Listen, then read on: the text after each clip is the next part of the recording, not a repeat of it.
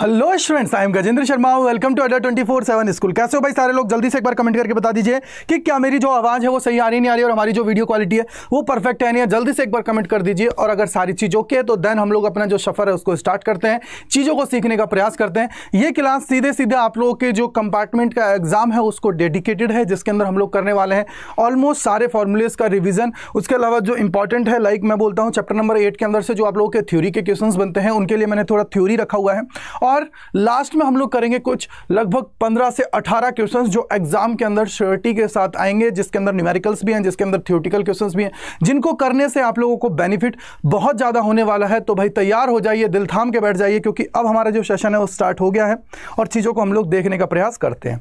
ठीक है बेटा तो आज हमारा क्या है? जल्दी से देख लीजिए, क्या है? फिजिक्स मैराथन है कंपार्टमेंट एग्ज़ाम कंप्लीट प्रिपरेशन के लिए है और इसके अंदर वही चीज़ हम लोग पढ़ेंगे जो एग्ज़ाम में आप लोगों के लिए ओरिएंटेड है, सीधा सिंपल ठीक है? तो चलिए शुरुआत कर देते हैं। सबसे पहले मैं आप लोगों का क्विक रिवीजन करा देता हूँ। क्विक रिवीजन का मतलब है कि जितने भी फॉर्मुलेज हैं, जैसे कल आप लोगों का मान लीजिए एग्ज़ाम है तो उससे पहले आप लोग जितना भी आप लोगों का थ्योरीज रिलेटेड है, चाहे आप लोगों का जो फॉर्मुलेज हैं, जो दिमाग में होने चाहिए, जिससे आप लोगों को बेनिफिट होने वाला है, वो सारी चीज़ों को आप लोग यहाँ पर कवर कर लोगे। तो सबसे पहले देखिए चैप्टर नंबर एट की बात करते हैं। चैप्टर नंबर एट ये सबसे पहले देख लीजिए कि आपको जो इसकी पी वगैरह जो चाहिए, उसके लिए आप लोगों को क्या करना पड़ेगा? अडर ट्वेंटी ऐप है, उसको डाउनलोड करना पड़ेगा। इसके अंदर पूरे पूरे फीचर्स हैं, आप लोगों को बेनिफिट इसका होगा। नेक्स्ट आपको पता है ये क्लास इलेवन ट्वेल्थ चैनल है, इसको आप लोग सब्सक्राइब कर लीजिए। चलिए भाई, सबसे पहले मैं फॉर्मूले आपको बता देता हूँ। फॉर्मूले जो हैं आप लोगों के चैप्टर नंबर एट के अंदर गिने चुने बहुत कम फॉर्मूले हैं। बहुत कम फॉर्मूले हैं, जैसे आप लोगों का मैथमेटिकल रिप्रेजेंटेशन हुआ, उसके अलावा आप लोगों का एनर्जी डेंसिटी हुआ, और मोमेंटम की बात करने लग जाए तो ये सारी चीज़ें हैं। तो सबसे पहले देखिए हम लोग यहाँ से देखते हैं कि एनर्जी डेंसिटी की बात की जाती है तो क्या होता है? एनर्जी पर यूनिट वॉल्यूम की जब बात की जाती है तो ये हमारी हो जाती है one point two epsilon naught और ई e का स्क्वायर आर एम एस ठीक है?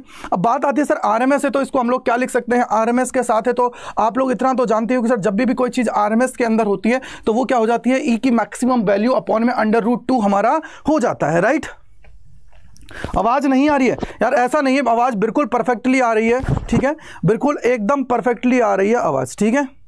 और उसके बाद में क्या होता है? सर, एक हमारा होता है म्यू भी इज़ इक्वल टू क्या हो जाता है? One point two mu B का स्क्वायर का आर एम एस अपॉन में क्या हो जाता है? Mu naught. अब सबसे बड़ी बात है, आप लोगों से कभी कभी पूछ लिया जाता है कि बताइए इन दोनों का रेशो कितना होता है। एग्ज़ाम के अंदर आप लोगों से पूछ लिया जाएगा कि बताइए इन दोनों का रेशो कितना होता है। अगर इसको हम लोग सॉल्व करते हैं तो भाई आप लोगों को पता है कि अगर मैं बात करूँ म्यू ई की तो mu E is equal to क्या होता है बेटा? वन अपॉइंट क्या होता है? Mu E is equal to जो आप लोगों का हो जाता है। जल्दी से हम लोग देखते हैं, क्योंकि जिससे आप लोगों का टाइम मैं बिल्कुल किल नहीं करूँगा, जिससे आप लोग सारे ही सारे बहुत अच्छे से कर जाओगे, ठीक है? तो सबसे पहले देखिए, क्या होता है? सर, आप लोगों से रेशो पूछ लिया जाता है म्यू ई और उसके अलावा म्यू बी का। तो इनका जो रेशो होता है बेटा वन एस टू वन का रेशो होता है, ये क्या करते हैं? दोनों के दोनों इक्वल अमाउंट में कॉन्ट्रीब्यूशन करते हैं। दोनों के दोनों क्या करते हैं? इक्वल अमाउंट में कॉन्ट्रीब्यूशन करते हैं, ठीक है? अगर ये कॉन्ट्रीब्यूशन करते हैं बिल्कुल बेटा फाइन तो ये क्या करते हैं? दोनों का इक्वल अमाउंट में कंट्रीब्यूशन करते हैं। जैसे अगर मैं इसको ड्राइव भी करूँ तो कैसे होता है? म्यू इज़ इक्वल टू क्या होता है? One point two epsilon naught और ये हो जाता है ई e का ई e नॉट का स्क्वायर या ई e का स्क्वायर आप लोग बोल दीजिए। क्या बोल दीजिए? ई का स्क्वायर मैं डायरेक्ट इसको बोल देता हूँ, ठीक है बेटा? क्या बोल देता हूँ? ई का स्क्वायर पर आप लोग इसको लिख लीजिए। चाहे ई नॉट लिख लीजिए, चाहे ई का स्क्वायर आप लोग लिख लीजिए, ठीक है? अब मेरे को एक चीज़ बताओ। अगर ई की बात कर रहे हो एप्साइलन नॉट है और ई है। अगर ई की बात कर रहे हो तो ई हमारा क्या हो सकता है? कि sir one point two epsilon naught E का स्क्वायर हमारा हो गया। अब देखिए, ई को अगर आप लोग लिखना चाहते हो तो इसको तोड़ के लिख सकते हो कि सर, अगर ई हमारा होगा तो उसको अंडर रूट की फॉर्म में आप लोग लिख सकते हो, जैसे सी के रिस्पेक्ट में निकाल सकते हो। कैसे? देखिए, अगर आप लोगों ने याद हो तो E naught by B naught मैंने आप लोगों को लिखाया हुआ है, क्या होता है? सी होता है। उसी तरीके से ई बाई बी की बात करते हो तो ये क्या हो जाएगा? सी। यहाँ से ई इज़ इक्वल टू क्या हो जाएगा? बी सी हो जाएगा, ठीक है? बी सी हमारा हो जाएगा और सी आप लोगों को पता है कि sir, C is equal to क्या होता है? One upon under root mu naught epsilon naught हमारा होता है। ठीक है? म्यू नॉट और एप्सिलॉन नॉट हमारा होता है। अगर ये होता है तो रख दीजिए इसके अंदर, यहाँ पर रखोगे ई स्क्वायर है ई स्क्वायर की जगह रखोगे तो बी स्क्वायर सी स्क्वायर हो जाएगा। बी स्क्वायर सी स्क्वायर हो जाएगा तो सी के ये अंडर रूट के अंदर है तो यहाँ से क्या हो जाएगा? सर, ये हो जाएगा mu E is equal to one point two और ये क्या हो जाएगा? एप्साइलन नॉट यहाँ पे क्या हो जाएगा, sir? B square divided by क्या हो जाएगा? म्यू नॉट और एप्साइलन नॉट तो यहाँ से ये कैंसिल आउट हो गया, ये क्या आ जाएगा? सर म्यू भी आ जाएगा और म्यू भी जब भी हमारा आ जाता है म्यू ई और म्यू भी हमारा आ जाता है तो इसका मतलब दोनों इक्वल है और दोनों जब इक्वल आ जाता है तो इसका मतलब दोनों का कॉन्ट्रीब्यूशन है। वो कितना है? इक्वल अमाउंट का कॉन्ट्रीब्यूशन वो हमारे कर रहे हैं, ठीक है? इक्वल अमाउंट का क्या कर रहे हैं बेटा? कॉन्ट्रीब्यूशन कर रहे हैं, ठीक है? ओके बेटा? ओके बेटा फेरो मैग्नेट बिल्कुल बिल्कुल, अभी पी लेंगे, अभी पीएँगे ठीक है? तो ये हो गया। इसके अलावा मैंने देखो, ये फॉर्मूला आप लोगों को बता ही दिया इंटेंसिटी के रिस्पेक्ट में। एक फॉर्मूला और आप लोगों से पूछा जाता है, जिसपे आप लोगों के न्यूमेरिकल आ जाते हैं थ्योरी भी आ जाती है कि सर, अगर इंटेंसिटी के रिस्पेक्ट में तो इंटेंसिटी के रिस्पेक्ट में अगर आप लोगों से पूछा जाता है तो इंटेंसिटी इज़ इक्वल टू क्या हो जाती है? सर एनर्जी बोल दीजिए। Energy upon area into time ये हमारा कभी कभी इससे न्यूमेरिकल आप लोगों से पूछ लिया जाता है। डायरेक्ट वो आपसे एनर्जी पूछता है। तो आई क्या लिखोगे? I into A into T आप लोग सीधा सीधा लिख दोगे। ये हमारी क्या होती है? एनर्जी की बात वो हमसे करता है। ठीक है? उसके बाद में मोमेंटम ऑफ़ इलेक्ट्रोमैग्नेटिक वेव है तो इलेक्ट्रोमैग्नेटिक वेव है मोमेंटम क्या हो जाएगा? P is equal to U by C हमारा हो जाएगा, यानी कि energy divided by C C क्या होता है? स्पीड ऑफ़ लाइट हमारा होता है, ठीक है? क्लियर बात है बेटा? ये है। और इसके अलावा मैथमेटिकल रिप्रेजेंटेशन क्या हो जाता है सर अगर मैं बोल रहा हूँ कि आप लोगों से पूछा जा सकता है सवाल सवाल पूछा जाता है कि मान लीजिए आप लोगों की जो वेव है, वो प्रोपोगेट कर रही है एक्स डायरेक्शन के अंदर। अगर हमारी जो वेव है, वो प्रोपोगेट कर रही है एक्स डायरेक्शन के अंदर। ओके बेटा, ठीक है ठीक है ठीक है ठीक है भाई। अब मेरे को देखो क्या हुआ कि अगर आप लोगों की वेव है वो एक्स डायरेक्शन के अंदर प्रोपोगेट कर रही है तो वाई डायरेक्शन में आपका क्या होता है? इलेक्ट्रिक फ़ील्ड होगा। जेड डायरेक्शन में क्या होगा? मैग्नेटिक फ़ील्ड होगा। तो ये दिमाग में अच्छे से बिठा लीजिए कि एक्स डायरेक्शन में अगर मेरा वेव है तो वाई डायरेक्शन में मेरा इलेक्ट्रिक फ़ील्ड होगा। जेड डायरेक्शन में क्या होता है? मेरा मैग्नेटिक फ़ील्ड होगा। ये दिमाग में अच्छे से सेट कर लीजिए। अब दिमाग में आएगा कि सर कैसे हम लोग इसको याद रखें? तो याद रखने का तरीका है कि पहले अगर यहाँ पे देखिए, ये अगर मेरी एक्स डायरेक्शन है तो यहाँ पर मैं बोल रहा हूँ कि वेव प्रोपोगेट कर रही है। वेव कर रही है। यहाँ पे क्या है? वाई में कौन है? इलेक्ट्रिक फ़ील्ड है। जेड में कौन है? जेड में हमारा है बेटा मैग्नेटिक फ़ील्ड क्या है बेटा? मैग्नेटिक फ़ील्ड हमारा है। अगर ये दोनों की दोनों हैं तो अब देखिए, अगर ये वेव है तो आप लोगों को हमेशा इस तरीके से चलना है। इस तरीके से चलना है हमेशा। हमेशा इस तरीके से चलना है, यानी कि एंटी क्लॉकवाइज चलना है। पहले वेव आएगा, फिर इलेक्ट्रोमैग्नेटिक वेव आएगा इलेक्ट्रोमैग्नेटिक इलेक्ट्रिक फ़ील्ड आएगा, और फिर हमारा क्या आएगा? मैग्नेटिक फ़ील्ड अब आप लोगों से पूछा जा सकता है कि बताइए, जो हमारी इलेक्ट्रोमैग्नेटिक वेव होता है, इनका सोर्स कौन होता है? इनका सोर्स हमारा कौन होता है? ठीक है भाई, बहुत बढ़िया। इनका सोर्स कौन होता है? तो इलेक्ट्रोमैग्नेटिक वेव जो हमारी होती है, इनका सोर्स हमारा कौन होता है? ऑक्सीटिंग चार्ज पार्टिकल हमारा होता है, क्योंकि आप लोगों को मैंने बता भी रखा है, ठीक है? यस सर बेटा, बिल्कुल बिल्कुल बिल्कुल। अब सबसे पहले देखिए क्या हुआ, कि मान लीजिए सर सोर्स की बात है तो सोर्स कौन होता है? देखो, जब भी हमारा कोई चार्ज होता है चार्ज अगर रेस्ट के ऊपर होता है चार्ज एट रेस्ट हमारा होता है चार्ज अगर रेस्ट के ऊपर होता है तो बेटा इस केस में ये हमें क्या देता है? सिर्फ़ और सिर्फ़ इलेक्ट्रिक फ़ील्ड देता है। अगर ये मोशन कर रहा है, क्या कर रहा है? यूनिफॉर्म यूनिफॉर्म मोशन कर रहा है। यूनिफॉर्म क्या कर रहा है? मोशन कर रहा है। तो यूनिफॉर्म सर्कुलर मोशन कर रहा है या मोशन कर रहा है तो हम लोग बोलेंगे, सर, ये क्या देगा इलेक्ट्रिक फ़ील्ड और उसके अलावा हमें क्या देगा? एंड मैग्नेटिक फ़ील्ड हम लोगों को देगा। ठीक है? और नेक्स्ट जो हमारा है, वो है, सर ऑक्सीटिंग चार्ज पार्टिकल है क्या है? ऑक्सीटिंग चार्ज पार्टिकल है। ऑक्सीटिंग चार्ज पार्टिकल है, बेटा। तो ऑक्सीटिंग चार्ज पार्टिकल है तो ये हमें क्या दे देता है, सर? ये हमें देता है इलेक्ट्रिक फ़ील्ड मैग्नेटिक फ़ील्ड और इसके अलावा हमें देता है इलेक्ट्रोमैग्नेटिक वेव ठीक है? इलेक्ट्रोमैग्नेटिक वेव हमें देता है तो ये दिमाग में अच्छे से सेट कर लीजिए, इससे ज़्यादा कुछ भी नहीं है इस चैप्टर के अंदर। ये सारा इसका बिल्कुल चीज़ें हैं। इससे ज़्यादा आप लोगों को कुछ भी दिमाग में नहीं रखना है, और ये बहुत आसानी से आप लोग कर जाओगे। अब हमको जो सबसे ज़्यादा इंपॉर्टेंट है, जो आप लोगों से पूछा जाता है कई बार, कि सर, हमारा क्या होता है कि use of electromagnetic wave spectrum कि सर इलेक्ट्रोमैग्नेटिक स्पेक्ट्रम होता है, आप लोगों को याद रखना है कि स्पेक्ट्रम के अंदर सबसे ज़्यादा वेवलेंथ किसकी होती है? रेडियो वेव्स की होती है। सबसे कम किसकी होती है? गामा की होती है? सबसे ज़्यादा वेवलेंथ किसकी होती है? आपको बताई दिया रेडियो की और कम किसकी होगी? गामा की। अब फ्रीक्वेंसी के रिस्पेक्ट में आप लोग जाओगे तो सबसे ज़्यादा फ्रीक्वेंसी किसकी? जिसकी वेवलेंथ सबसे ज़्यादा उसकी फ्रीक्वेंसी क्या है? सबसे कम। जिसकी वेवलेंथ सबसे ज़्यादा उसकी फ्रीक्वेंसी क्या होती है बेटा? सबसे कम होती है क्योंकि अगर मैं सिर्फ़ और सिर्फ़ इसको इसको ही बताऊँ तो कैसे होगा? देखो। आ, देखो एक बार देख लीजिए। सबसे पहले देखिए क्या होता है। कि अगर मैं वेवलेंथ की बात करता हूँ लेमडा की बात करता हूँ, देखो, आप लोगों को पता है sir E is equal to क्या होता है? ई इज़ इक्वल टू होता है एच एफ़ राइट है? एफ़ इज़ इक्वल टू क्या होता है बेटा? सी बाई लेमडा क्या होता है? सी बाई लेमडा अगर मैं सिर्फ़ सी को देखूँ तो सी तो कांस्टेंट है क्योंकि स्पीड ऑफ़ लाइट हमेशा कांस्टेंट रहती है। अगर मैं बात कर रहा हूँ किसकी? अगर मैं बात कर रहा हूँ वैक्यूम की तो कितना होगा? Three into ten power eight metre per second यानी कि स्पीड ऑफ़ लाइट के बराबर होगी। ठीक है? तो एफ़ हमारा क्या होगा बेटा? इन्वर्सली प्रोपोर्शनल होगा लेमडा के। लेमडा जिसकी ज़्यादा, उसकी वेवलेंथ कम, यानी कि सर रेडियो वेव्स जो होती है। क्या होती है बेटा? रेडियो वेव्स अब याद करने का तरीका क्या हुआ? रेडियो वेव्स हुआ माइक्रोवेव्स हुआ।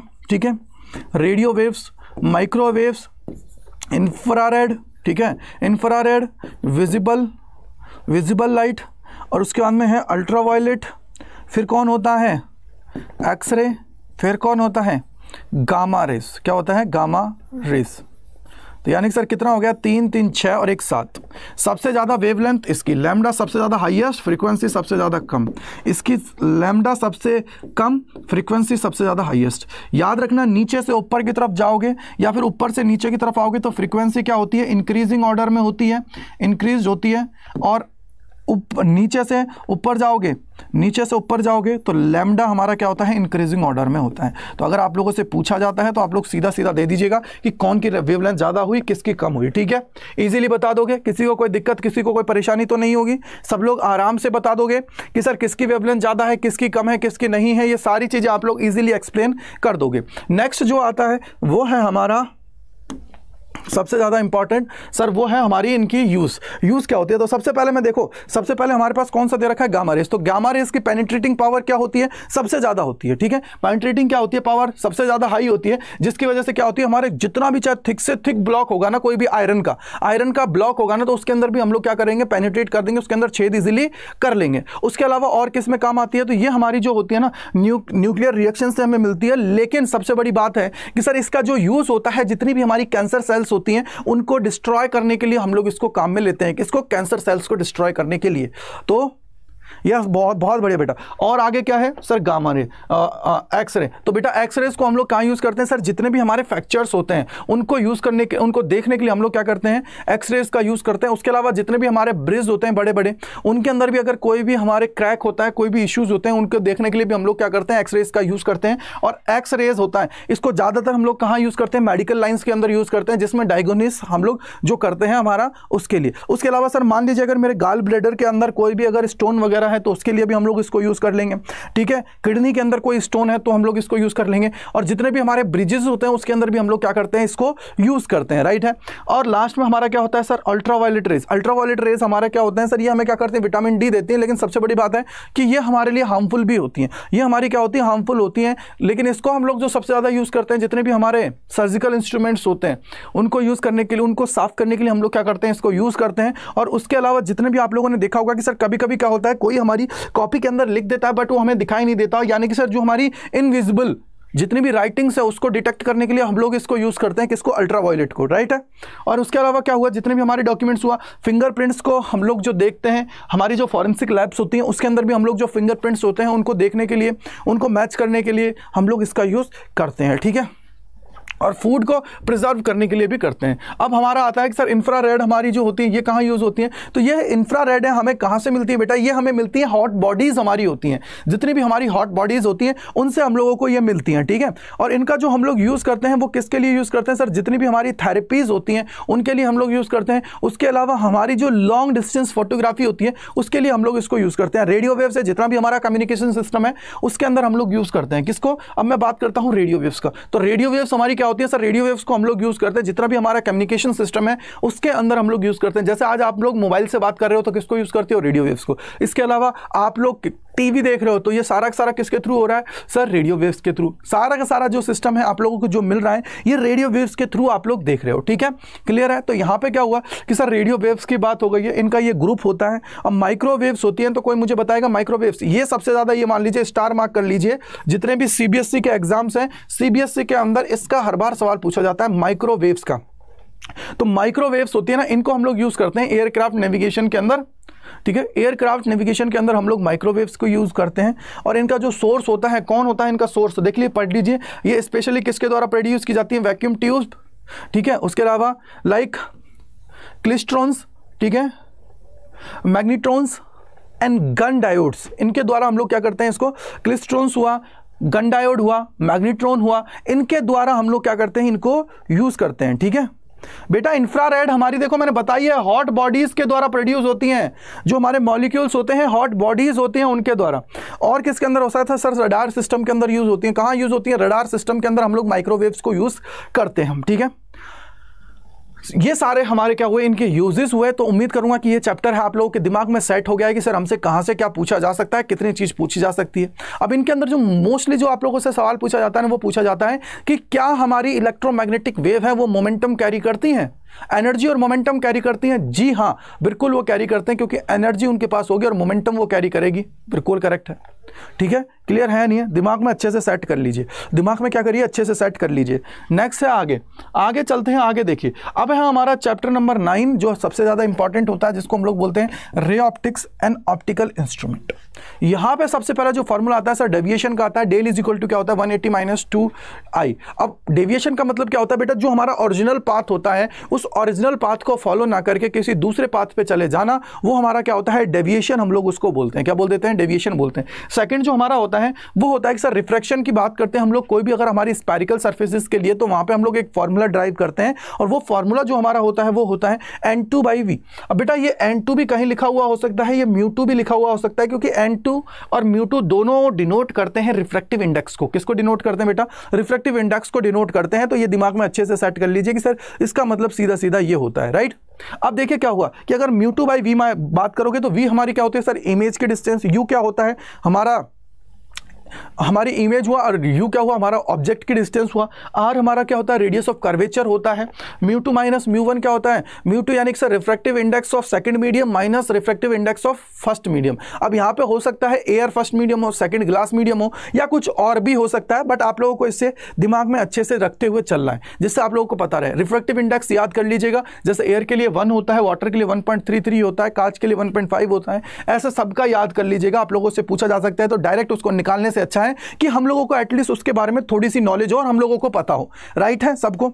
अब आगे बात आती है कि सर हम लोग देखते हैं, सर ये हमारा क्या होता है? क्रिटिकल एंगल अब आप लोगों से पूछा जा सकता है कि बताइए क्रिटिकल एंगल या फिर टी जो होता है, उसकी क्या कंडीशन होती है? तो टी के लिए मस्ट भी रिक्वायर्ड होता है कि हमारा इंसिडेंट एंगल है, वो क्रिटिकल एंगल से ज़्यादा होना चाहिए। उसके अलावा सेकंड कंडीशन है कि हमेशा denser medium to rare medium जाना चाहिए। डेंसर मीडियम से क्या हो? रेयर मीडियम के अंदर जाए। और आप लोगों से पूछा जा सकता है, बेटा टीआईआर से आप लोगों का केस बेस का क्वेश्चन आ सकता है तो टीआईआर को अच्छे से पढ़ लीजिएगा। टीआईआर को क्या करिएगा? अच्छे से पढ़ लीजिएगा, जिससे टीआईआर आप लोगों का बहुत अच्छे से कवर हो जाए और आपको कोई दिक्कत ना हो। राइट है? तो हमारा क्या होता है ये? ये होता है sine del C is equal to one upon mu mu क्या होता है? रिफ्लेक्टिव इंडेक्स होता है थीटा सी क्या होता है बेटा? थीटा सी जो हमारा होता है, वो होता है क्रिटिकल एंगल क्या होता है क्रिटिकल एंगल यस बेटा 90 डिग्री क्रिटिकल एंगल होता है। 90 डिग्री से अगर ऊपर अगर मैं इंसिडेंट करा रहा हूँ, उसको इंसिडेंट कर रहा हूँ तो वहाँ से क्रिटिकल एंगल क्या होगा कि क्रिटिकल एंगल 90 डिग्री है तो वो रे वापस क्या करेगी? उसी मीडियम के अंदर लौट के आ जाएगी। जिस मीडियम से वो गई है, उसी मीडियम के अंदर वो लौट के आ जाएगी। क्लियर बात हुआ? अब बात आती है कि सर इसके अलावा क्या हुआ? अब हम लोग बात करते हैं बेटा refraction through a prism prism के थ्रू रिफ्रैक्शन होता है। तो याद रखिएगा, इसके अंदर जो बात आती है ना, वो सबसे बड़ी बात है कि सर प्रिज्म के अंदर हम लोग जो मिनिमम डेविएशन की बात करते हैं तो वहाँ पे एक हमारा फैक्टर होता है जहाँ incident angle is equal to हो जाता है इमर्स्ड एंगल के, यानी कि I is equal to E के हो जाता है। तो ये आपको याद रखेगा कैसे? ठीक है? टी आई आर क्या है बेटा? टोटल इंटरनल रिफ्लेक्शन होता है। टोटल इंटरनल रिफ्लेक्शन ठीक है? वो हमारा होता है टी आई आर उसके यूजेस भी आप लोगों को याद होने चाहिए। यूजेस कौन कौन से हो सकते हैं? यूजेस आप लोगों का सर वो सारी चीज़ें आप लोगों को याद होने चाहिए। और इसका देखो फॉर्मूला क्या हो जाएगा? Sir mu is equal to होता है sine A plus del M by two divided by क्या हो जाता है? साइन ए बाई टू ये हमारा क्या होता है? जर्नल फॉर्मूला होता है, जहाँ से आप लोगों से सीधा सीधा न्यूमेरिकल बन के आता है। तो आप लोग इसको अच्छे से दिमाग में रख लीजिए। और ये हमारा क्या होता है? डेल मिनिमम कभी कभी आप लोगों से पूछ लिया जाता है कि डेविएशन के बारे में बताइए। क्या है? डेविएशन जो है, उसके बारे में बताइए। तो ये क्या हो जाता है? म्यू माइनस वन और मल्टीप्लाई बाई ए हो जाता है। Mu minus one multiply by A हमारा हो जाता है। ठीक है? ठीक है? बोलो ठीक है म्यू माइनस वन और ए हमारा हो गया। अब आता है सिंपल माइक्रोस्कोप सिंपल माइक्रोस्कोप होता है ना बेटा तो इसके अंदर जो मैग्निफिकेशन होता है, एक हमारा होता है डिस्टिंग विजन के लिए, एक हमारा होता है इंफिनिटी के लिए। क्या होता है? एक इन्फाइनेट के लिए होता है, एक डिस्टिंग विजन के लिए होता है। डिस्टिंग विजन के लिए जो होता है, वो हमारा हो जाता है M is equal to one plus D by F और हमारा जो इन्फिनिटी के लिए होता है तो वहाँ पे ये हमारा हो जाता है सीधा सीधा M is equal to D by F ठीक है?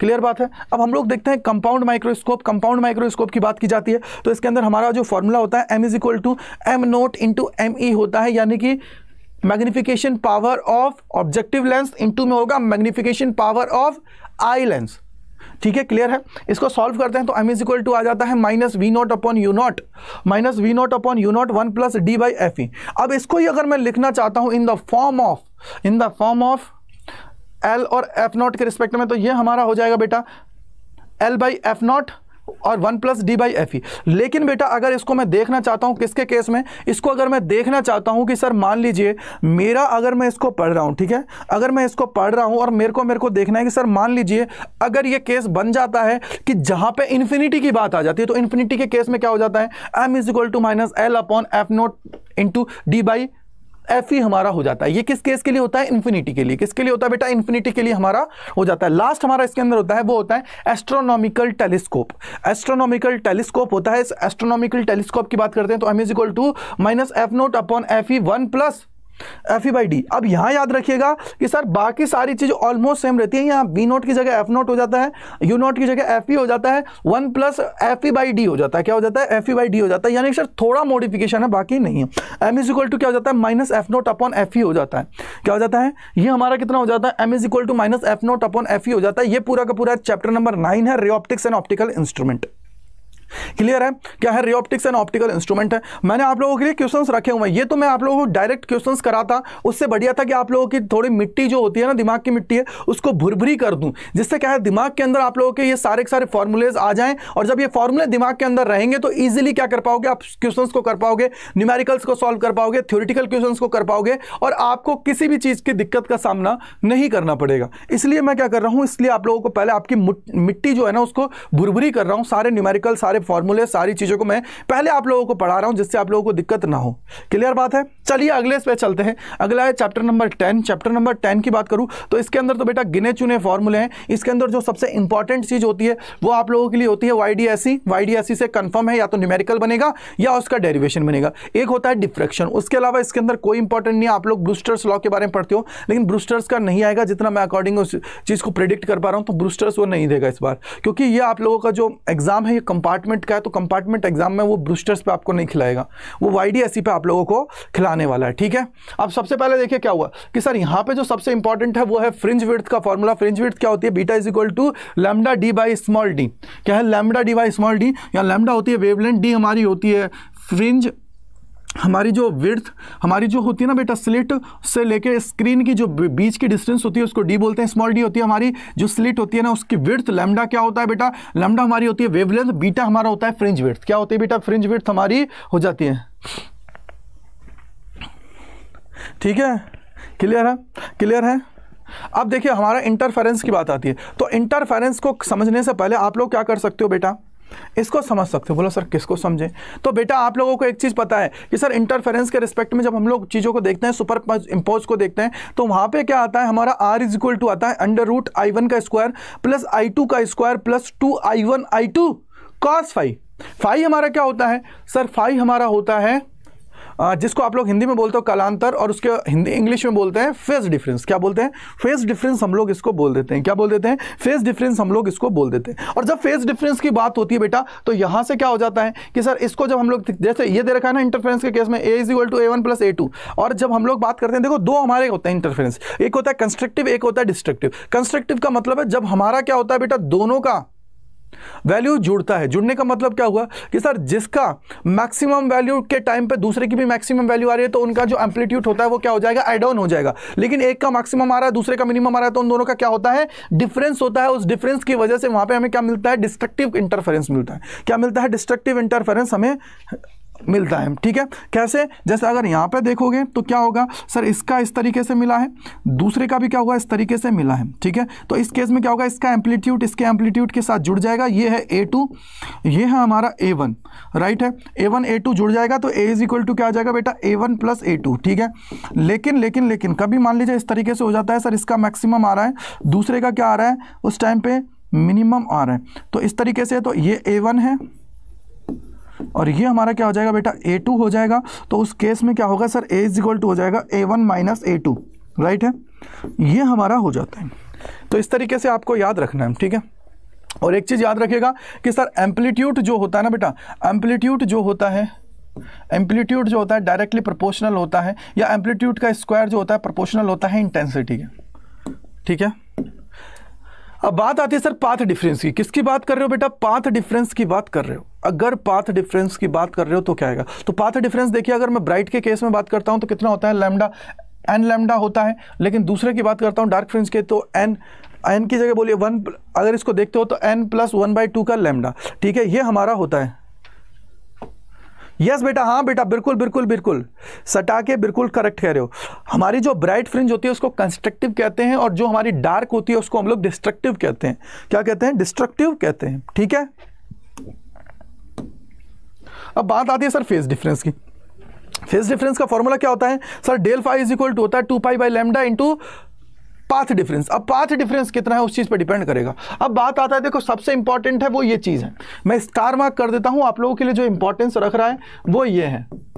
ये इंपॉर्टेंट है, अभी जो है, ये दोनों चीज़ें हैं, वो बहुत ज़्यादा इंपॉर्टेंट है इसके अलावा, और कुछ इंपॉर्टेंट नहीं है इस चैप्टर के अंदर, ठीक है? हटा के, ठीक है? ठीक है? क्लियर है? बेटा, डरने की बात नहीं है। बिल्कुल भी डरो मत। जो मैं चीज़ पढ़ा रहा हूँ, जितने मैं क्वेश्चंस कराऊँगा, अगर उनको भी करके चले गए ना तो आपका पेपर अच्छे से बन जाएगा। कोई दिक्कत नहीं आएगी। ठीक है, सबसे पहले देखो यार, Young's double slit experiment. Young's double slit experiment की बात है कि सर, यंग्स क्या हुआ? तो यंग्स ने क्या किया था बेटा? इसके अंदर एक टर्म आती है जिसको हम लोग बोलते हैं कोरेंट सोर्स। कोरेंट सोर्स का मतलब होता है कि सर, हम लोग उन सोर्सेज को लेते हैं जिनकी क्या होती है? वेवलेंथ सेम होती है, जिनकी फ्रिक्वेंसी सेम होती है। और सबसे बड़ी बात, जिनके अंदर कोई भी फेस डिफरेंस नहीं होता है। जिसके अंदर कोई भी फेस डिफरेंस नहीं होता है, उसकी हम लोग बात करते हैं। तो सबसे पहले देखिए, इसके अंदर हमारी जो, अगर मान लीजिए एनथ ब्राइट फ्रेंस के लिए हम लोग निकाल रहे हैं तो क्या हो जाता है X X N is equal to N lambda D by small D मैंने आपको बता दिया लैमडा क्या होता है डी क्या होता है स्मॉल डी क्या होता है, मैंने सारी चीज़ें एक्सप्लेन कर दी अब है हमारे, मान लीजिए डिस्टेंस डार्क फ्रेंस की बात करता हूँ तो डार्क फ्रेंस में क्या आ जाएगा, ये आ जाएगा two N minus one lambda by two D into small D divided by small D ठीक है, ये हमारा फॉर्मूला हो जाता है। अब यहाँ पे आता है डिस्ट्रक्टिव डिस्ट्रक्टिव का केस क्या होता है सर बी साइन थीटा बोल दीजिए ए साइन थीटा बोल दीजिए। यार, एक चीज़ याद रखिएगा, जब भी डिस्ट्रक्शन डिफ्रेक्शन की बात आती है और हमारे जो यंग्स डबल स्लिट की बात आती है तो जहाँ पे यंग्स में हमें ब्राइट मिलता है, हमें डिफ्रेक्शन के अंदर क्या होता है डार्क स्पॉट मिलता है। और जहाँ पे वहाँ पे डार्क मिलता है, यहाँ पे क्या होता है ब्राइट मिलता है। यानी कि सर सिचुएशन क्या हो जाती है जस्ट अपोजिट हो जाती है। जैसे वहाँ पे हम लोगों को एन लेमडा पे क्या मिल रहा था एन लेमडा पाथ डिफरेंस था जब हमारी ब्राइटर की बात थी। लेकिन यहाँ एन लेमडा हमारा आएगा जब हमारी क्या है डार्क की बात आएगी। एन लेमडा आएगा कब? जब हमारा डार्क की बात आती है। किसकी बात आती है? डार्क की बात आती है। ठीक है? तो यहाँ पे क्या हो जाएगा सर डार्क के केस में क्या हो जाएगा सर एन लेमडा के रिस्पेक्ट में आ जाएगा। और जब हमारा सेंट्रल मैक्सिमा की बात करते हो तो ये हमारा क्या हो जाता है? सर, ये हो जाएगा टू वाई बोल दीजिए। इसको टू एक्स बोल दीजिए, टू वाई बोल दीजिए, टू एक्स बोलोगे तो lambda D by small D हो जाता है। एंगुलर विथ क्या होती है? सर, ये हो जाती है टू थीटा। थीटा हमारा क्या हो जाता है? देखो, थीटा कैसे निकालोगे? मान लीजिए ये हमारे पास फॉर्मूला है। ये हमारे पास फॉर्मूला है। अब आप लोग मान लीजिए कि, मान लीजिए सर, मैं बोलता हूँ कि हमारे पास ये बी है, बी की जगह मैं क्या ले रहा हूँ? स्लिट की विथ डी ले रहा हूँ। तो क्या हो जाता है sir? D sine theta. Is equal to क्या हो जाता है बेटा? एन लेमडा पहले वाले के लिए ले रहा हूँ तो N is equal to one हो जाएगा तो यहाँ से sine theta is equal to कितना आ जाता है बेटा? Sine theta is equal to आ जाता है लेमडा बाई स्मॉल डी अब यहाँ पे थीटा है। साइन थीटा को अगर मैं बात करता हूँ, मैं छोटे से स्मॉल एंगल के लिए तो अप्रोक्सीमेटली थीटा के हो जाता है? तो थीटा इज़ इक्वल टू क्या हो जाता है सर लेमडा बाई डी हो जाता है। अगर लेमडा बाई डी है तो two theta is equal to क्या हो जाएगा सर ये हो जाएगा टू लेमडा बाई डी बात खत्म। दिमाग में अच्छे से बिठा लो। ये हमारी क्या होती है? एंगुलर विड्थ होती है। क्या होती है बेटा? एंगुलर विड्थ हमारी हो जाती है। क्या हो जाती है? एंगुलर विड्थ हमारी हो जाती है। तो ये चैप्टर नंबर टेन है, जिसके इंपॉर्टेंट फॉर्मूले सारे मैंने आप लोगों को रिवाइज करा दिए अब आते हैं आगे। आगे है ये ड्यूल नेचर ड्यूल नेचर के अंदर ज़्यादा कुछ नहीं है सिंपल चीज़ें हैं जिसको आप लोग इजीली पढ़ पाओगे इजीली समझ पाओगे. जैसे सीधा सिंपल फॉर्मूला होता है, वो होता है सर फोटोन्स एनर्जी की बात करें तो इज़ इक्वल टू क्या होता है? एच एफ़ होता है. एफ़ इज़ इक्वल टू क्या होता है? सी बाई लेमडा होता है. क्या होता है? एफ़ इज़ इक्वल टू क्या हो जाता है बेटा? सी बाई लेमडा हमारा हो जाता है. तो ये है फोटोन्स की एनर्जी के लिए. पावर की अगर बात करते हैं तो क्या हो जाएगा सर? एच एफ़ बाई क्या हो जाता है हमारा? टी यानी कि sir energy per unit time energy per unit time हमारी क्या हो जाएगा? पावर ठीक है? आगे इंटेंसिटी की बात है तो इंटेंसिटी मैंने अभी अभी सिखा के आया था, क्या होता है? Energy divided by A into T और इसी से एक चीज़ और आ जाती है। यहाँ से देखो, अगर मैं पावर की बात करता हूँ तो बेटा पावर इज़ इक्वल टू क्या है? अभी अभी आपने देखा कि sir power is equal to है मेरा एन मैं एन ले लेता हूँ। ये तो किसके लिए एक फोटोन के लिए। एक फोटोन के लिए है, मैं नंबर ऑफ़ फोटोन्स इंक्रीज कर रहा हूँ तो मैं लिखूँगा N H F divided by क्या हो जाएगा बेटा? टी यहाँ से देखिए N by T N by T क्या होता है sir? Number of photon per unit time number of photon per unit time अगर ये आ जाता है तो ये हमारा एन बाई टी हो जाता है। यानी कि सर पावर बाई क्या हो जाएगा? एच एफ़ तो इस तरीके से भी आप लोगों से number of photon per second पूछे जा सकते हैं। तो दिमाग में सेट कर लीजिए, अगर नंबर ऑफ़ फोटोन्स आप लोगों से पूछे जा रहे हैं तो आप लोग किससे निकालोगे? N by T power is equal to H F ठीक है? दिमाग में अच्छे से रख लीजिए इस चीज़ को, क्योंकि ये इंपॉर्टेंट है। जो चीज़ मैं आज देखो आपको बता रहा हूँ ना, जिन पे स्टार मार्क कर रहा हूँ, उनको अच्छे से पढ़ लीजिए, क्योंकि वो इंपॉर्टेंट है। अब इसके अंदर कोई बोलेगा कि सर आपने फ़ोटो इलेक्ट्रिक इफ़ेक्ट नहीं बताया तो बेटा मैंने आगे क्वेश्चन डाले फ़ोटो इलेक्ट्रिक इफ़ेक्ट के। तो वहाँ पर अब आप लोग क्या करोगे? उन क्वेश्चन की हेल्प से आप लोग क्या करोगे? मैंने उसके अंदर न्यूमेरिकल भी डाले थ्योरिटिकल क्वेश्चन भी डाले जो मुझे लगता है ना कि आप लोगों के एग्ज़ाम के अंदर आ सकते हैं। वो सारी चीज़ें मैंने इसके अंदर डाल दी है वो सारी चीज़ें क्या है मैंने इसके अंदर डाल दी हैं, जो एग्ज़ाम ओरिएंटेड है एग्ज़ाम के अंदर सीधे देखने को मिल सकती हैं। इंटेंसिटी क्या हो जाती है? Sir energy divided by A into T यानी कि energy per unit area into time ये हमारी क्या हो जाती है? इंटेंसिटी इंटेंसिटी आगे बात आती है सर मैक्सिमम काइनेटिक एनर्जी क्या है? ये हमारी किससे आई सर फ़ोटो इलेक्ट्रिक इफ़ेक्ट से आई। फ़ोटो इलेक्ट्रिक जो हमारा इफ़ेक्ट होता है, जो हमारे आइंस्टीन जी ने दिया था फ़ोटो इलेक्ट्रिक इफ़ेक्ट यानी कि काइनेटिक एनर्जी मैक्सिमम जो होता है, वो होता है एच एफ़ माइनस एफ़ बोल दीजिए एच न्यू बोल दीजिए। माइनस होता है वर्क फ़ंक्शन वर्क फ़ंक्शन क्या होता है sir minimum energy requirement work function का मतलब है सर कितना उसको मिनिमम वर्क करना पड़ेगा? The minimum amount of work minimum amount of work ये हमारा क्या होता है? वर्क फ़ंक्शन अब एक है स्टॉपिंग पोटेंशियल स्टॉपिंग पोटेंशियल है बेटा, जिसको आप लोग लिखते हो V not is equal to H C by A one upon lambda minus phi divided by D E sorry अब सबसे बड़ी बात है, देखो दिमाग में एक चीज़ बिठा लो। क्या बिठाना है? इसके अंदर कुछ तीन ग्राफ है। इंटेंसिटी पोटेंशियल डिफरेंस के फ्रीक्वेंसी के पोटेंशियल डिफरेंस के। स्टॉपिंग पोटेंशियल के तो उन तीनों चारों ग्राफ्स को देख के जाना। तीनों चारों जो ग्राफ्स हैं उनको देख के जाना, क्योंकि उन ग्राफ से मुझे लगता है मेरी जो मन हो रहा है, वो है ना, वो बोल रहा है कि आप लोगों के एक दो क्वेश्चंस आप लोगों को देखने को मिलेंगे ग्राफ से। तो ग्राफ्स आप लोगों को एटलीस्ट पढ़ के जाने हैं, जिससे आपको कोई दिक्कत ना हो, ठीक है? ग्राफ्स क्या करने हैं? आप लोगों को पढ़ के जाने हैं, मेरे भाई, ठीक है? क्लियर बात है? तो चलिए नेक्स्ट चैप्टर पर चलते हैं। अब यहाँ से आगे कोई नहीं है, बहुत कम चीज़ें हैं यहाँ से आगे तो। अब एटम्स के बाद में तो एटम के लिए तो सीधा सिंपल है। इस फॉर्मूले को अच्छे से पढ़ लो, क्योंकि पिछली बार जब आपका कंपार्टमेंट नहीं था, जो मैन एग्ज़ाम था, उसके अंदर भी इससे पूछा गया था सवाल। क्या था? Two Z E square divided by होता है फोर पाई एफ़ नॉट और डिवाइडेड बाय काइनेटिक एनर्जी जिसकी काइनेटिक एनर्जी मैक्सिमम होगी, वो उतना ही क्लोज जाएगा एटम के। कितना जाएगा? वो जो एटम का न्यूक्लियस होता है ना, उसके क्लोज जाएगा, जिसकी काइनेटिक एनर्जी मैक्सिमम वो उतना ही क्लोज जाएगा। यानी कि ये हमारी आर नोट जो होता है, वो क्या होता है बेटा? ये होती है क्लोजेस्ट अप्रोच क्या होती है? क्लोजेस्ट अप्रोच की बात है। ठीक है? आगे देखिए क्या है। इंपैक्ट पैरामीटर है। बी इक्वल टू क्या हो जाता है sir K Z E square divided by kinetic energy under root one plus cos theta divided by one minus cos theta ये हमारा क्या होता है? इंपैक्ट पैरामीटर होता है। इंपैक्ट पैरामीटर का मतलब क्या हुआ सर मान लीजिए ये मेरा क्या है? न्यूक्लियस है। न्यूक्लियस का ये सीधे सिंपल है। यहाँ से देखिए कि ये इस तरीके से जो मूवमेंट कर रहा है तो ये इन दोनों के बीच की जो डिस्टेंस होती है, इसको हम लोग बोलते हैं इंपैक्ट पैरामीटर क्या बोलते हैं? इंपैक्ट पैरामीटर ठीक है? इंपैक्ट पैरामीटर हम लोग इसको बोल देते हैं। बोलो, ठीक है, नहीं इम्पैक्ट पैरामीटर ठीक है? क्लियर है नहीं है? इम्पैक्ट पैरामीटर हम लोग बोल देते हैं। आगे हमारी आती है कि सर मैं बात कर रहा हूँ किसकी आर की। यानी कि sir radius of electron in nth orbit की बात की जाती है तो कितना हो जाता है?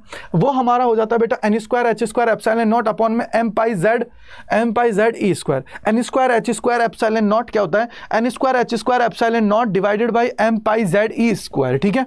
ये हमारी क्या हो जाती है बेटा? रेडियस इन एनथ ऑर्बिट में। कैसे सॉल्व करते हैं तो आप लोगों को पता होना चाहिए, sir F P is equal to क्या हो जाता है? एफ़ सी हो जाता है। यानी कि सर, हमारा इलेक्ट्रोस्टैटिक फोर्स है, वो इज़ इक्वल टू हो जाता है सेंट्रिपिटल फोर्स के।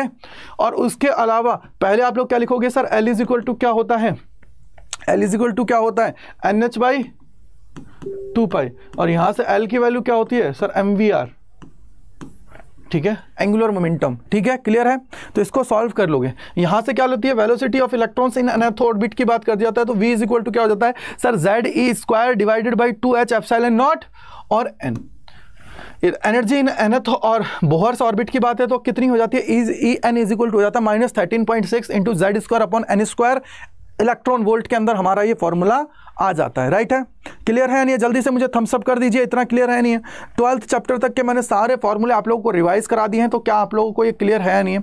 जल्दी से मुझे एक बार कमेंट करके बताइए, क्या आप लोगों को इतना क्लियर है नहीं है? इतनी मेहनत आपको अच्छी लगी, नहीं लगी? इतने आपने को कुछ सीखा या नहीं सीखा? दिमाग में कुछ बैठा या नहीं बैठा? जल्दी मुझे बताइए, फिर उसके बाद में न्यूक्लियर पे आता है, फिर हम लोग क्वेश्चन करते हैं। क्योंकि सेमी के अंदर कोई भी फॉर्मूले नहीं है जो आप लोगों के लिए इंपॉर्टेंस रखते हों। जल्दी मुझे बताइए, मज़ा आया नहीं आया? क्या दिमाग में बैठा या नहीं बैठा? क्या दिमाग में बैठा या नहीं बैठा, जल्दी से मुझे एक बार बता दीजिए। अगर दिमाग में बैठ गया है तो मैं आपके आगे चलता हूँ। जल्दी से थम्सअप कर दीजिए सारे लोग। सारे लोग जल्दी से थम्सअप करिए यार, फटाफट से थम्सअप करिए। इतने लोग देख रहे हो एटलीस्ट थम्सअप तो बनता है। थम्सअप तो बनता है। मैंने देख लो आपको पूरा चैप्टर स्प्राइट क्लियर है सर ओके मैंने बेटा आपको सारे के सारे फ़ंक्शंस हैं फॉर्मूलेज हैं, वो सारे मैंने रिवाइज करा दिए हैं, जिससे क्या है, आप लोग कम टाइम में सारी चीज़ों को पढ़ पाओगे अब इसके बाद में क्या है, आप लोगों के अंदर वो होती है ना कि एक मूवी हम लोग देखने जाते हैं, अगर उसका ट्रेलर हम लोगों को पता है थोड़ा सा, उसका ट्रेलर हम लोगों को पता है तो हमारे दिमाग में बैठ जाता है कि यार ये हीरो है, ये हीरोइन है, ये ऐसे है, ये वैसे है, ये ऐसे काम कर रहा है, ये ऐसे काम कर रहा है, ये फलाना ठिकाना जो भी है, वो सारी चीज़ें हम लोगों को पता लग जाती है। उसी तरीके से क्या है, मैंने आपके दिमाग में पूरा पूरा ट्रेलर डाल दिया अब पिक्चर की बात है पिक्चर क्या करना है, आप लोग बुक उठाओगे, फटाफट फटाफट बुक उठाओ या फिर नोट्स उठाओ, जो मैंने करा रखे हैं उनको देखो, फटाफट फटाफट फटाफट फटाफट रीडिंग आउट कर लो रीड आउट कर लो, सारी चीज़ कर लो और फिर उसके बाद में जाके लिख के आ जाओ। बोलो, ठीक है, नहीं अरे, सही बात है, नहीं है, जल्दी बताओ यार। सही बात है या नहीं है, जल्दी से मुझे बता दो। क्लियर है या नहीं है? जल्दी से मुझे बताइए, क्या क्लियर है या नहीं है? बोलो भाई क्लियर है या नहीं है? अगर क्लियर है तो चलिए भाई, आगे चलते हैं। आगे है चैप्टर नंबर 14 इसके अंदर कुछ नहीं है यार। ये चार फॉर्मूले हैं, गिन के इनको याद रख लो। एक तो है साइज़ ऑफ़ द न्यूक्लियस क्या होता है? R is equal to R naught A to the power one by three होती है। आर नॉट की वैल्यू क्या होती है? One point two F M होती है। और एक एफ़ एम की वैल्यू क्या होती है? Ten one into ten to the power minus fifteen right ये हमारी होती है। बेटा, कल मज़ा आना चाहिए, बस कल कल आप लोग इस वीडियो के नीचे कमेंट करोगे कि सर फिजिक्स के पेपर में फोड़ दिया, बस। आके कमेंट सबको करना है कि सर फिजिक्स में आपने जो पढ़ाया मज़ा आ गया और कल फिजिक्स के पेपर में फोड़ दिया है, बस। ये कमेंट करोगे। तो एरिया ऑफ़ द न्यूक्लियस क्या हो जाता है? ए डायरेक्टली प्रपोर्शनल होता है A to the power two by three से, ठीक है? नीचे आता है डेंसिटी ऑफ़ न्यूक्लियस अब आप लोगों से पता है क्या पूछता है सवाल? यहाँ पे पूछता है कि क्या हमारी डेंसिटी जो है, वो ए के ऊपर डिपेंड करती है, नहीं करती है, या इंडिपेंडेंट होती है ए ए का मतलब क्या होता है? मास नंबर क्या डिपेंड करती है? बोला, सर, बिल्कुल नहीं करती क्योंकि यहाँ पे ए आ ही नहीं रहा है। तो इसलिए हमारी डेंसिटी इसके अंदर डिपेंड नहीं करती है। जो हमारा क्या होता है? रो हमारा होता है। ठीक है? आगे देखिए क्या दे रखा है। आगे दे रखा है मास डिफेक्ट मास डिफेक्ट का मतलब होता है, बेटा, आप लोग कैसे समझोगे? इसको समझ सकते हो। मान लीजिए, आप क्या लेके आए? दो चीज़ लेके आए। अगर आप लोग दो चीज़ लेके आए, उनको आप लोगों ने मिक्स कर दिया। मिक्स करने के बाद में आपने देखा कि मैं अलग अलग पाँच पाँच किलो लेके आया था चीज़ें, लेकिन जब मैंने उसको मिक्स किया तो वो नौ किलो ही रह गया। तो इट मीन्स क्या हुआ? एक हमारा एक किलो का क्या हुआ? नुकसान हो गया। और एक किलो का नुकसान का मतलब क्या है कि सर, कहीं ना कहीं वो एक किलो इन दोनों को जब मैंने मिलाया तो मिलाने में क्या हुआ? कहीं ना कहीं वो फॉर्म्ड हो गया, कहीं ना कहीं वो चला गया। वैसे ही क्या होता है सर, जब हमारे पास क्या होते हैं, दो अलग अलग कोई न्यूक्लियाई होते हैं, उन दोनों को हम लोग जोड़ते हैं, जोड़ के एक बड़ा बनाते हैं तो उस केस में क्या होता है, कुछ एनर्जी का लॉस होता है, और जो मास होता है ना, वो in the form of energy क्या होता है, उसका लॉस हो जाता है। कुछ का क्या हो जाता है लॉस हो जाता है, उसको हम लोग क्या बोल देते हैं मास डिफेक्ट कह देते हैं। क्या बोल देते हैं मास डिफेक्ट और ये कैसे निकालते हैं? तो sir E is equal to M C square Einstein mass equation जो होती है, मास एनर्जी जो इक्विलेंस होता है, उससे हम लोग निकालते हैं। क्लियर बात है नहीं? जल्दी मुझे बताइए। क्लियर है तो चलिए क्वेश्चंस कर लें। अब रेडी हैं? रेडी गाइस फॉर क्वेश्चंस बताओ भाई क्वेश्चंस के लिए रेडी है नहीं? है जल्दी मुझे बता दो। अब क्वेश्चंस पे हम लोग चल रहे हैं। मैंने सारी थ्योरी आप लोगों को कवर करा दी है। ऑलमोस्ट सारी मैंने थ्योरी आप लोगों को कवर करा दी है। जल्दी से मुझे बताइए भाई। क्लियर है नहीं? है जल्दी मुझे बताइए। क्लियर है नहीं? है जल्दी से मुझे बता दीजिए।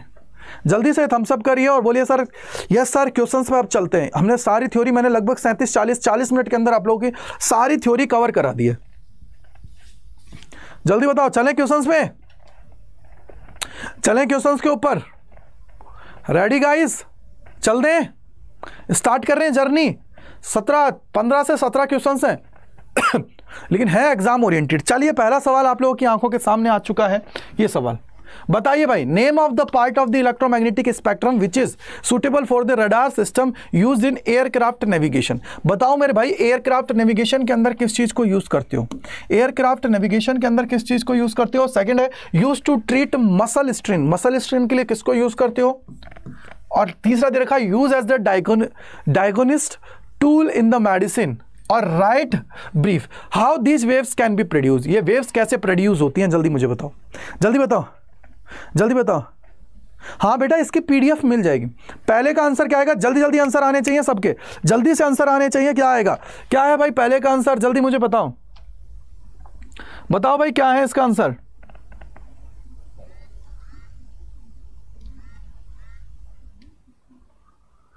जल्दी बताओ।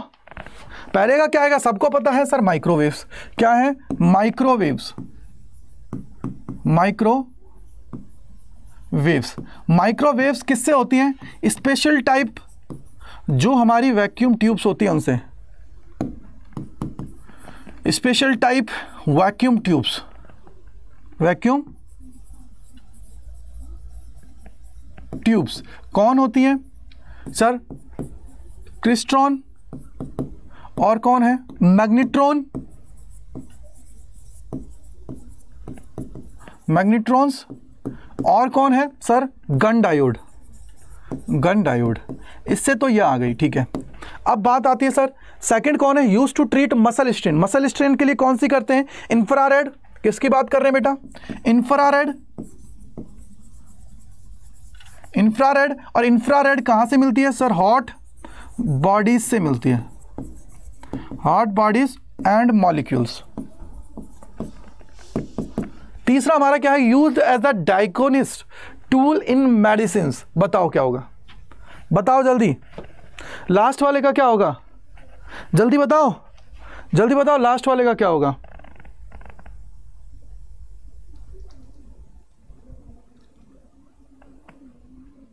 बताओ। एक्सरे कैसे आएगी?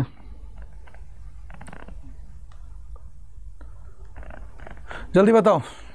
ये लास्ट कौन होता है? एक्सरे और कैसे होती है? सर इसके अंदर हम लोग क्या करते हैं? बम्बार्डिंग कराते हैं। क्या कराते हैं बेटा?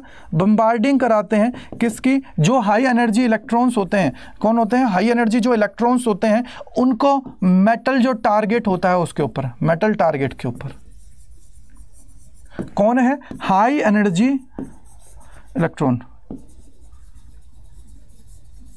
बोलो, ठीक है, नहीं, जल्दी मुझे बताओ। क्लियर है?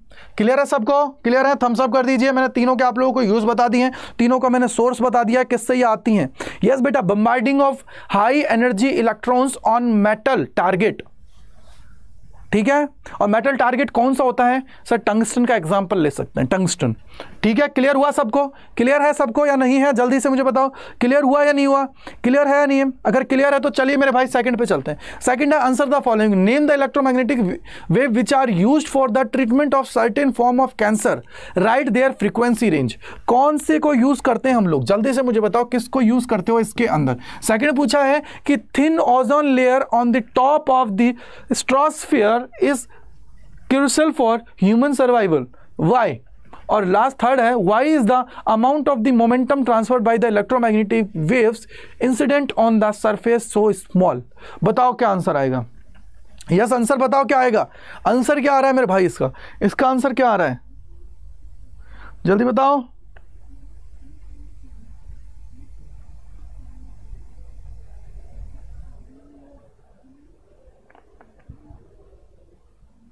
जल्दी बताओ। जल्दी बताओ। जल्दी बताओ कौन कौन होती हैं। पहले क्या आ जाएगा? पहले क्या देखो which are use for the treatment of certain form of cancer कौन आ जाएगा? गामा। ठीक है, इसकी रेंज क्या होती है? Ten to power twenty two से ten to power eighteen to frequency जो होती है ten to power eighteen to ten to the power twenty two hertz अब ये बताओ कौन सी है? यहाँ पे बताओ thin ozone layer on the top of stratosphere is crucial for the human survival why कौन सी होती है और क्यों होती है? जल्दी बताओ। थर्ड का तो हमें पता है कि सर हमारा मोमेंटम जो होता है, क्या होता है? म्यू इज़ इक्वल टू क्या होता है? यू बाई सी अगर स्पीड बहुत ज़्यादा है तो मोमेंटम स्मॉल होगा, ये तो सब चीज़ को पता है। कि सर स्पीड हमारी क्या होती है? स्पीड हमारी होती है three into ten to power eight metre per second अगर इतनी चीज़ स्पीड होगी तो मोमेंटम तो बहुत कम होगा ना यार। स्पीड ज़्यादा है तो मोमेंटम कम होगा। ऑब्वियसली बात है। ठीक है, जल्दी मुझे बताओ सेकंड का क्या आ रहा है? सेकंड का क्या आ रहा है? सेकंड सेकंड बताओ भाई। सेकंड का क्या आ रहा है मेरे भाई? सेकंड का क्या आ रहा है?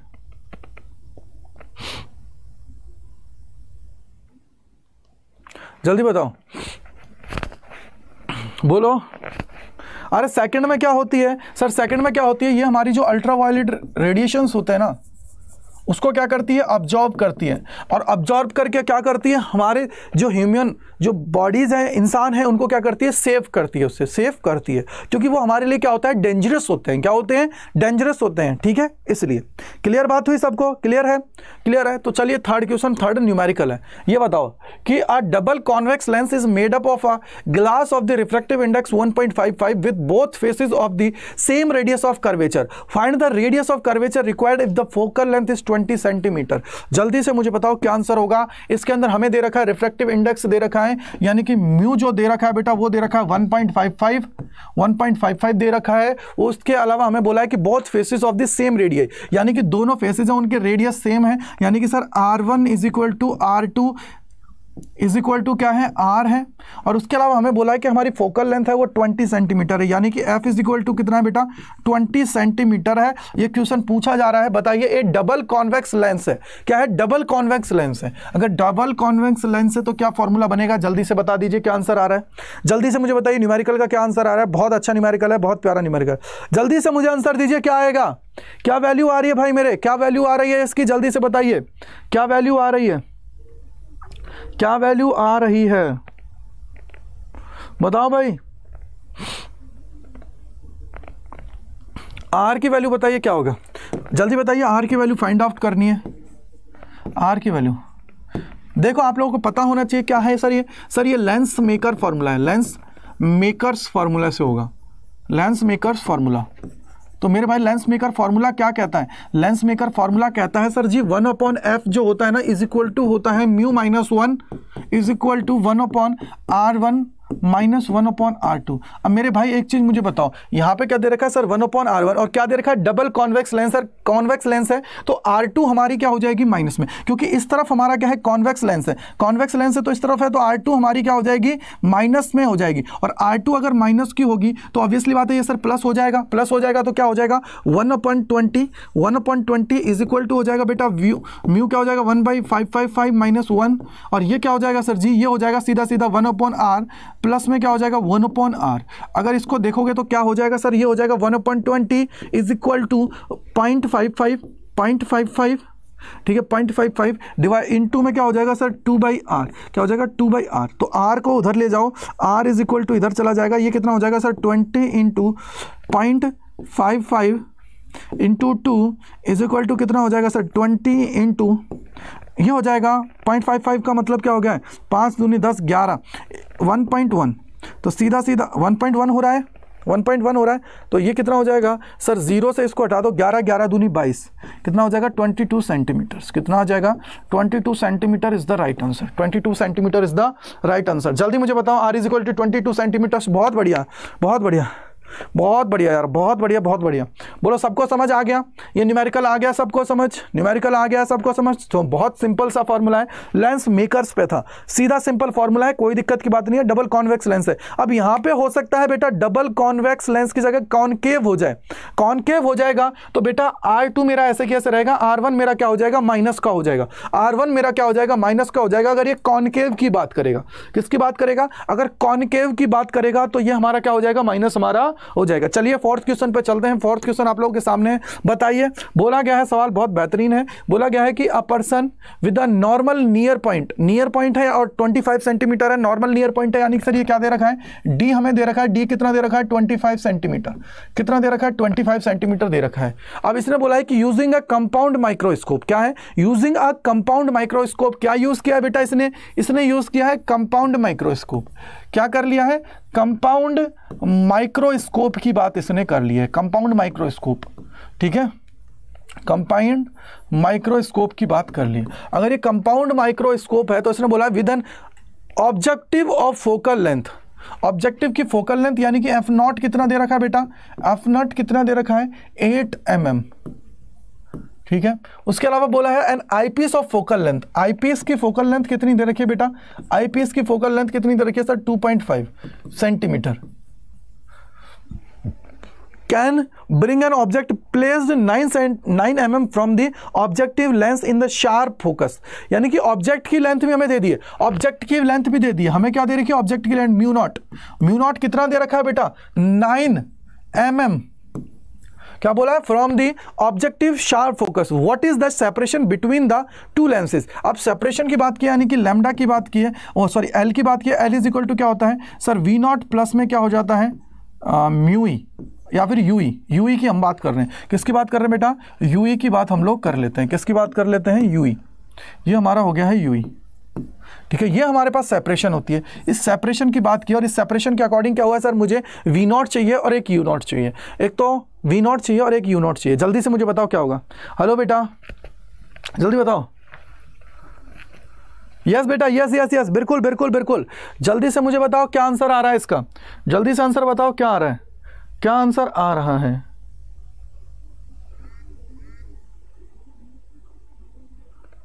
जल्दी बताओ। बोलो भाई।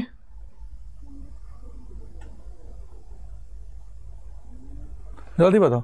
अब एक चीज़ बताओ। सर, वो 25 सेंटीमीटर है। 25 सेंटीमीटर है। ये 25 2.5 सेंटीमीटर है। अगर इसको एम mm में कन्वर्ट कर लूँ तो 250 हो जाएगा, ठीक है। तो चलिए सबसे पहले देखिए फॉर्मूला क्या कहता है।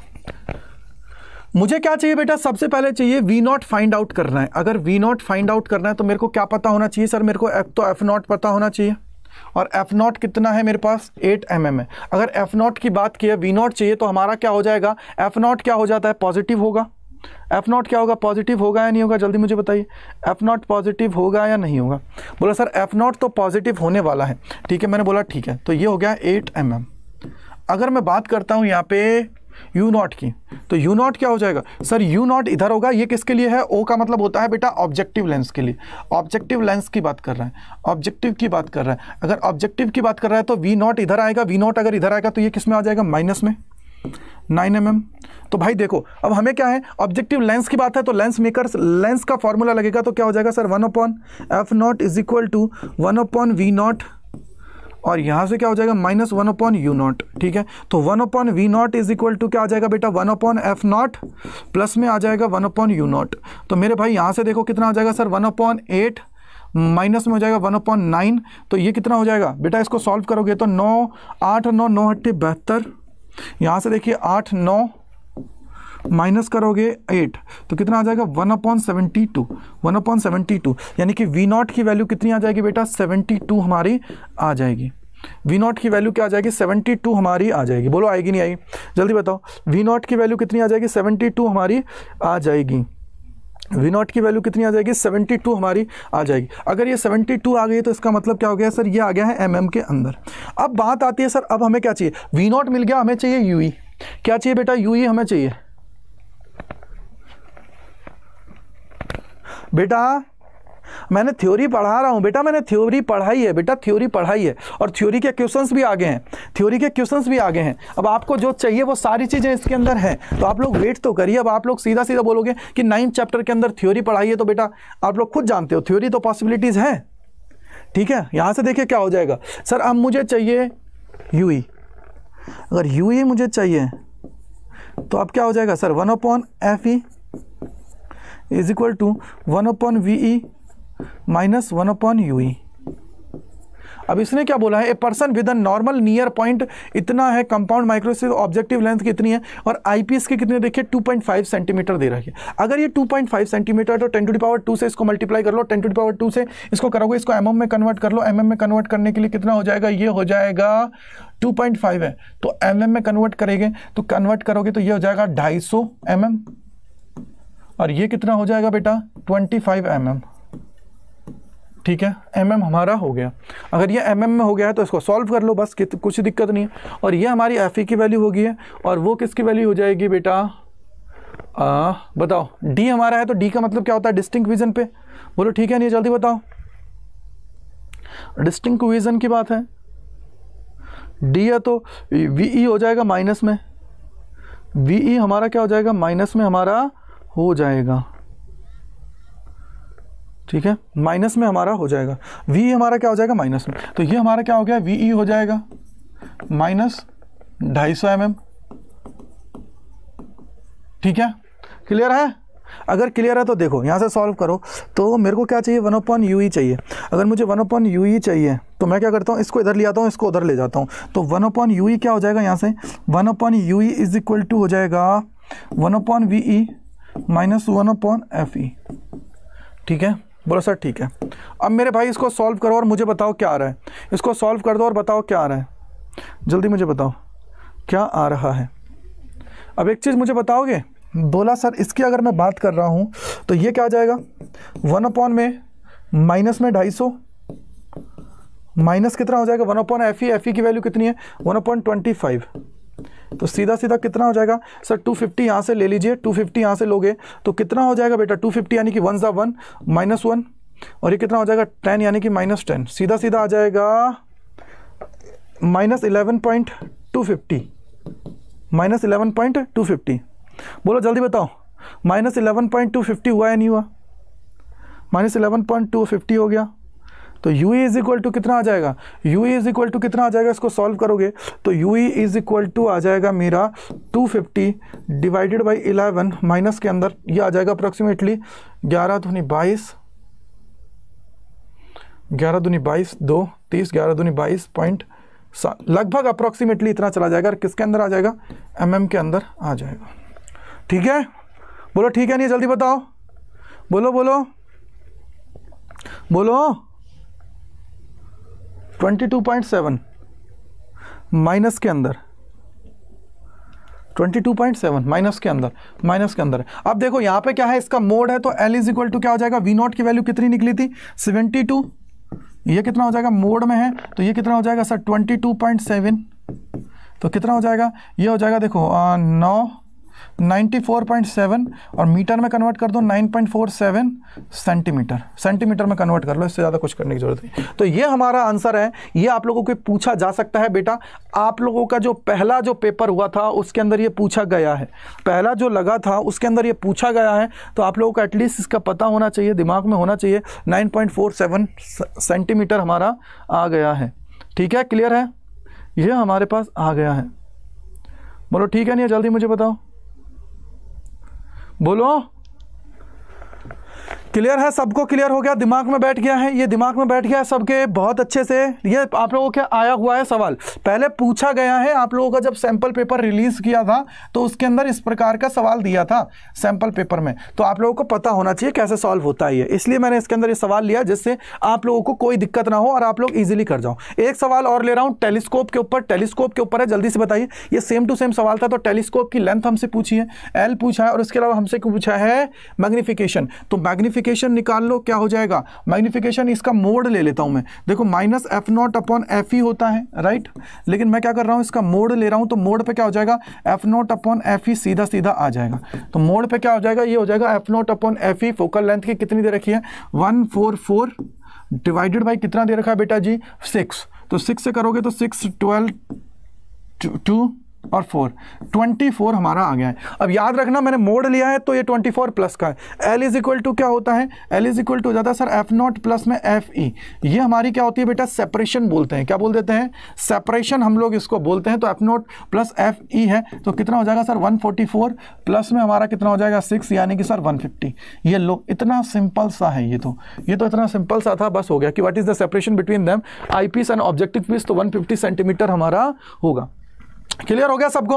ये तो सिंपल सा था। एक लाइन का सवाल था, उससे ज़्यादा कुछ नहीं है। एक लाइन का सवाल है, उससे ज़्यादा कुछ नहीं है। ठीक है? क्लियर हुआ या नहीं हुआ? जल्दी से मुझे बताइए। एक लाइन का सवाल था, उससे ज़्यादा कुछ नहीं था दिमाग में, और कुछ लेके आने की ज़रूरत ही नहीं थी। ठीक है? बोलो, ठीक है नहीं जल्दी मुझे बताओ 24 सेंटीमीटर आ गया है। क्लियर है सबको? थम्सअप कर दीजिए। 150 आ गया है। बोलो थम्सअप करो, जल्दी से फटाफट बता दो। क्लियर हुआ या नहीं हुआ?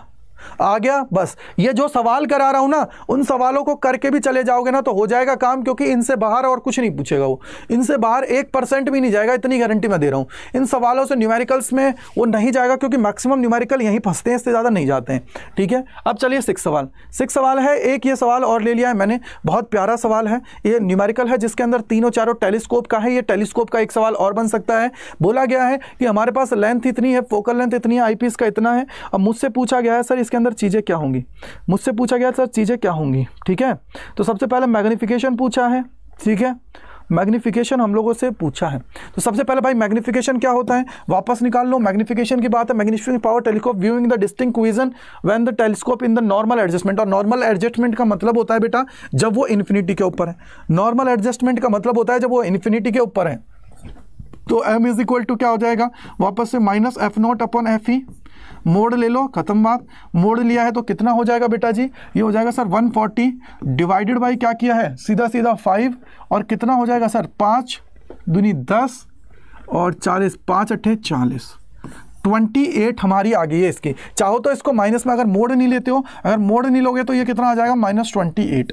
मोड ले लोगे तो बढ़िया है, नहीं लोगे तो कोई दिक्कत नहीं है। सेकंड मुझसे पूछा गया है। बोलो, सर, क्या पूछा गया है? उसने बोला है कि the final image is formed at the least distance of distinct vision यानी कि डी के ऊपर हमारी फाइनल इमेज बन रही है। फाइनल इमेज कहाँ बन रही है बेटा? फाइनल जो इमेज जो बन रही है, वो बन रही है डी के ऊपर। फाइनल इमेज कहाँ बन रही है? डी के ऊपर बन रही है। अगर डी के ऊपर बन रही है तो एम इज़ इक्वल टू क्या होता है? Sir m is equal to हो जाता है minus f naught upon f e one plus f e by D बोलो, है या नहीं? ये फॉर्मूला सबको याद है नहीं सबको याद है या नहीं है? जल्दी बताओ। अरे बोलो, याद है या नहीं है? ये फॉर्मूला याद है नहीं है? और इसको आप लोग क्या है मोड के अंदर, ये तो प्लस में ही तो होता है ना? प्लस में ही तो होगा ना? प्लस में हो जाएगा ये तो। ये तो प्लस में हो जाएगा। जल्दी बताओ, कितने लोगों को याद है ये? ये कितने लोगों को याद है कि sir f naught upon f e one plus f e by D ठीक है? अब सॉल्व करो इसको कितना आ जाएगा? सॉल्व करो कितना हो जाएगा? एफ़ ई e, यानी कि sir 140 divided by five one plus कितना है एफ़ ई e, यानी कि sir five divided by twenty five कितना हो जाएगा बेटा? ये हो जाएगा one upon five six by five कितना हो जाएगा?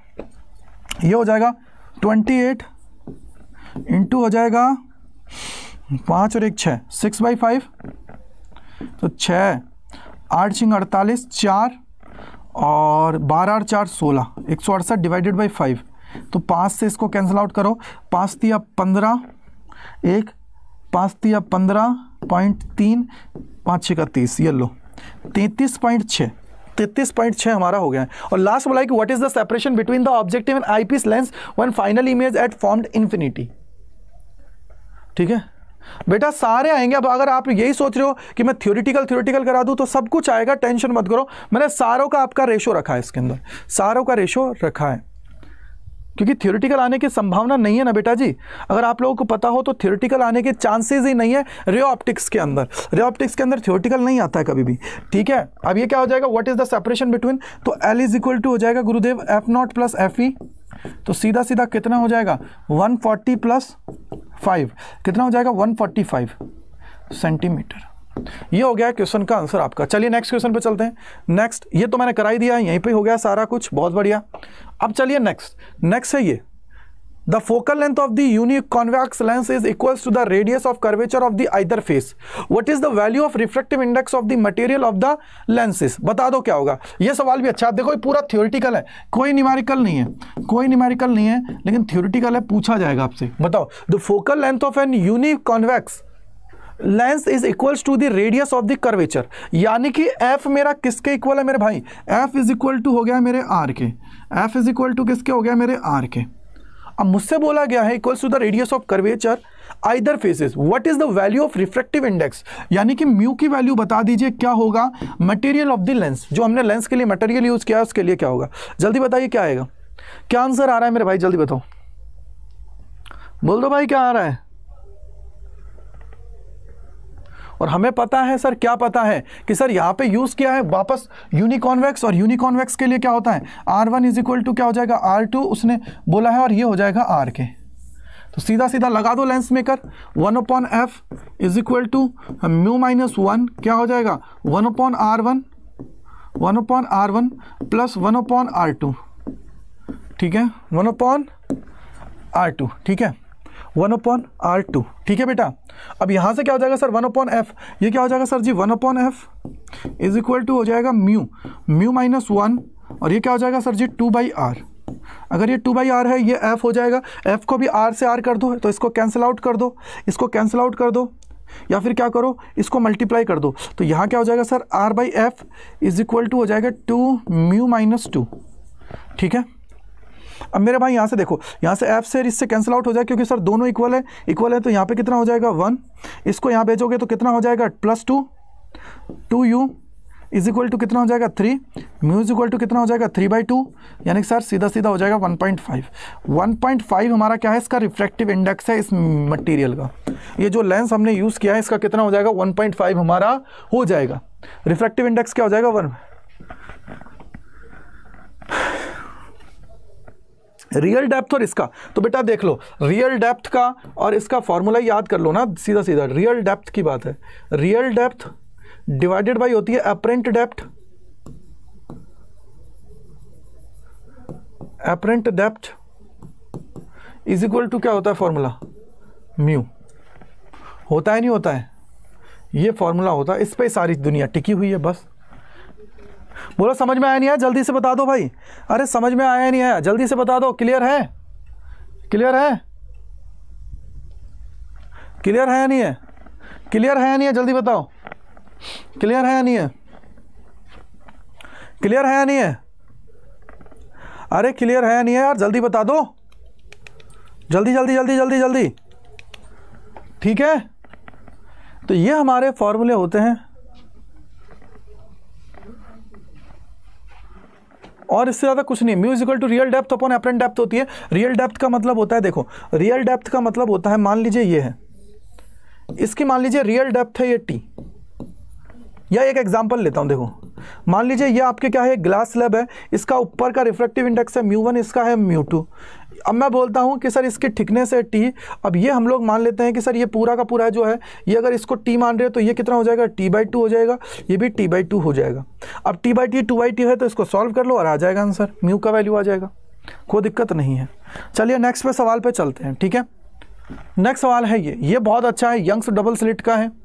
यंग्स डबल स्लिट का है, करो सॉल्व यंग से डालना स्लेट का चलो एक काम करते हैं, इसको सॉल्व करने से पहले जिनको थोड़ा थ्योरी का वेट कर रहे हैं ना, उनको थ्योरी पे ले आते हैं, ठीक है? जो थ्योरी का वेट कर रहे हैं सर थ्योरी ला दो थ्योरी ला दो तो ये लो थ्योरी का क्वेश्चन ये आ गया है using a Huygens principle to show how a plane wave front propagating from denser to rarer medium hence verify the Snell's law of refraction. याद रखना मेरे भाई वेव फ्रंट की बातें यहाँ पे दो चीज़ें हैं। या तो यहाँ पे देखो डेंसर और क्या लिखा हुआ है? रेयरर मीडियम लिखा हुआ है। नहीं तो आपसे पूछा जा सकता है rarer medium to denser medium दोनों में से कुछ भी हो सकता है। बस ये याद रखिएगा कि जब रेयरर से डेंसर में जाते हैं तो जो हमारी जो हमारी, क्या? जो वेव फ्रंट बनता है नीचे की तरफ़, वो क्या होता है? डेंसर में जाता है तो वो छोटा बनता है एज कंपेयर टू ऊपर वाले के, और जब रेयरर से डेंसर से रेयरर में जाएँगे तो वो बड़ा बनेगा। बस इतना सा याद रखेगा और कुछ करना नहीं है। बस दिमाग में बैठा लीजिए। तो चलिए डायग्राम बनाते हैं। ये हमारा क्या है बेटा? कोई भी सरफेस है, कोई भी सरफेस है ये। अगर ये कोई भी सरफेस है मेरे भाई तो यहाँ देखो, अगर ये कोई भी सरफेस है तो इसका मतलब क्या हुआ सर? इसके ऊपर वेव फ्रंट इंसिडेंट कराना है। तो भाई ये वेव फ्रंट इंसिडेंट करा दिया। एक तो यहाँ से है और एक ये करा दिया। ये मेरा क्या है? म्यू वन है। ये मेरा क्या है? म्यू टू है। ठीक है मेरे भाई? ये म्यू वन है, ये म्यू टू है। अब यहाँ से बोला है उसने डेंसर के लिए तो ये हमारा क्या है? डेंसर है। ठीक है, ये हमारा क्या है? रेयर मीडियम है। ठीक है मेरे भाई? ये रेयरर मीडियम है। अब देखो क्या होता है कि सर, अगर यहाँ देखते हो तो ये क्या है इंसिडेंट वेव फ्रंट है ये क्या है बेटा? इंसिडेंट वेव फ्रंट है या नहीं है? इसको बोल दीजिए ए इसको बोल दीजिए बी ये इंसिडेंट वेव फ्रंट है, ठीक है? अब मेरे को बताइए, ये क्या है सर? एक नॉर्मल ड्रॉ किया है। अगर ये नॉर्मल है तो अगर ये नॉर्मल है तो मेरे भाई एक चीज़ मुझे बताओ कि जितना ये यहाँ पे आ गई है, उतने टाइम में, जितने टाइम में ये यहाँ से यहाँ पहुँचेगी, ये क्या करेगी? आगे बढ़ेगी या नहीं बढ़ेगी? बोलो, आगे बढ़ेगी या नहीं बढ़ेगी? आगे बढ़ेगी या नहीं बढ़ेगी? बोला, सर, बिल्कुल बढ़ेगी। अगर बढ़ेगी भाई मेरे तो कितना स्पीड से? कि बोला, सर, ऊपर क्या है? डेंसर मीडियम है। ये नीचे क्या है? रेयर मीडियम है। जितने टाइम में ये यहाँ से यहाँ पहुँचेगी, मान लीजिए इसके लिए, इसकी स्पीड जो है, इसके अंदर वो है वी ये क्या लेगी टी टाइम लिया है। तो ये क्या हो जाएगा? वी वन टी हो जाएगी डिस्टेंस अब मैंने बोला, इतने टाइम में ये क्या करेगी? इतना डिस्टेंस ट्रेवल कर लेगी। और इससे क्या होगी? ये इसकी तरफ़ नहीं जाएगी, इससे दूर आएगी। ये जो हमारा नॉर्मल है ना नॉर्मल की तरफ़ नहीं आएगी। नॉर्मल से क्या होगी? दूर चली जाएगी। नॉर्मल से क्या करेगी? दूर जाएगी, ठीक है? अगर ये नॉर्मल से दूर जाएगी तो मैंने बोला कि सर ये यहाँ पर पहुँच गई। इन दोनों को मिला दीजिए। मिला दीजिए इन दोनों को मिला दीजिए। अब मेरे को बताओ, इसने कितनी डिस्टेंस ट्रेवल की होगी? सर, इसने की है वी टू टी किसी को कोई परेशानी? ये कितने का एंगल है, सर? ये 90 डिग्री का एंगल है, क्योंकि वेव फ्रंट हमेशा 90 डिग्री बनाता है। अब मेरे भाई, एक चीज़ मुझे बताओ।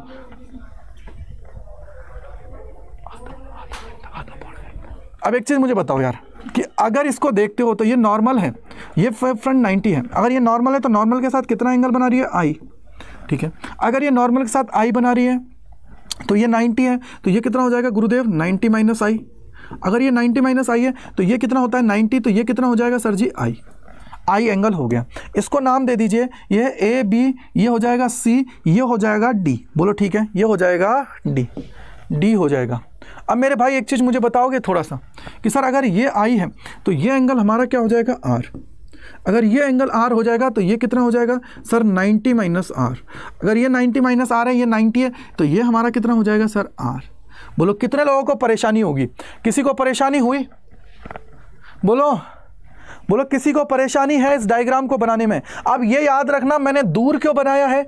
क्योंकि ये डेंसर टू रेयरर मीडियम में जा रही है। बोला है ना डेंसर टू रेयरर मीडियम अब हो सकता है आपसे बोलते रेयरर टू डेंसर मीडियम और अगर रेयरर टू डेंसर मीडियम लेके जाओगे तो ये डिस्टेंस इसके कंपेरिजन में छोटी होगी। क्योंकि रेयरर में लाइट की जो, ये हमारी वेव फ्रंट है, वो स्पीड ज़्यादा होगी।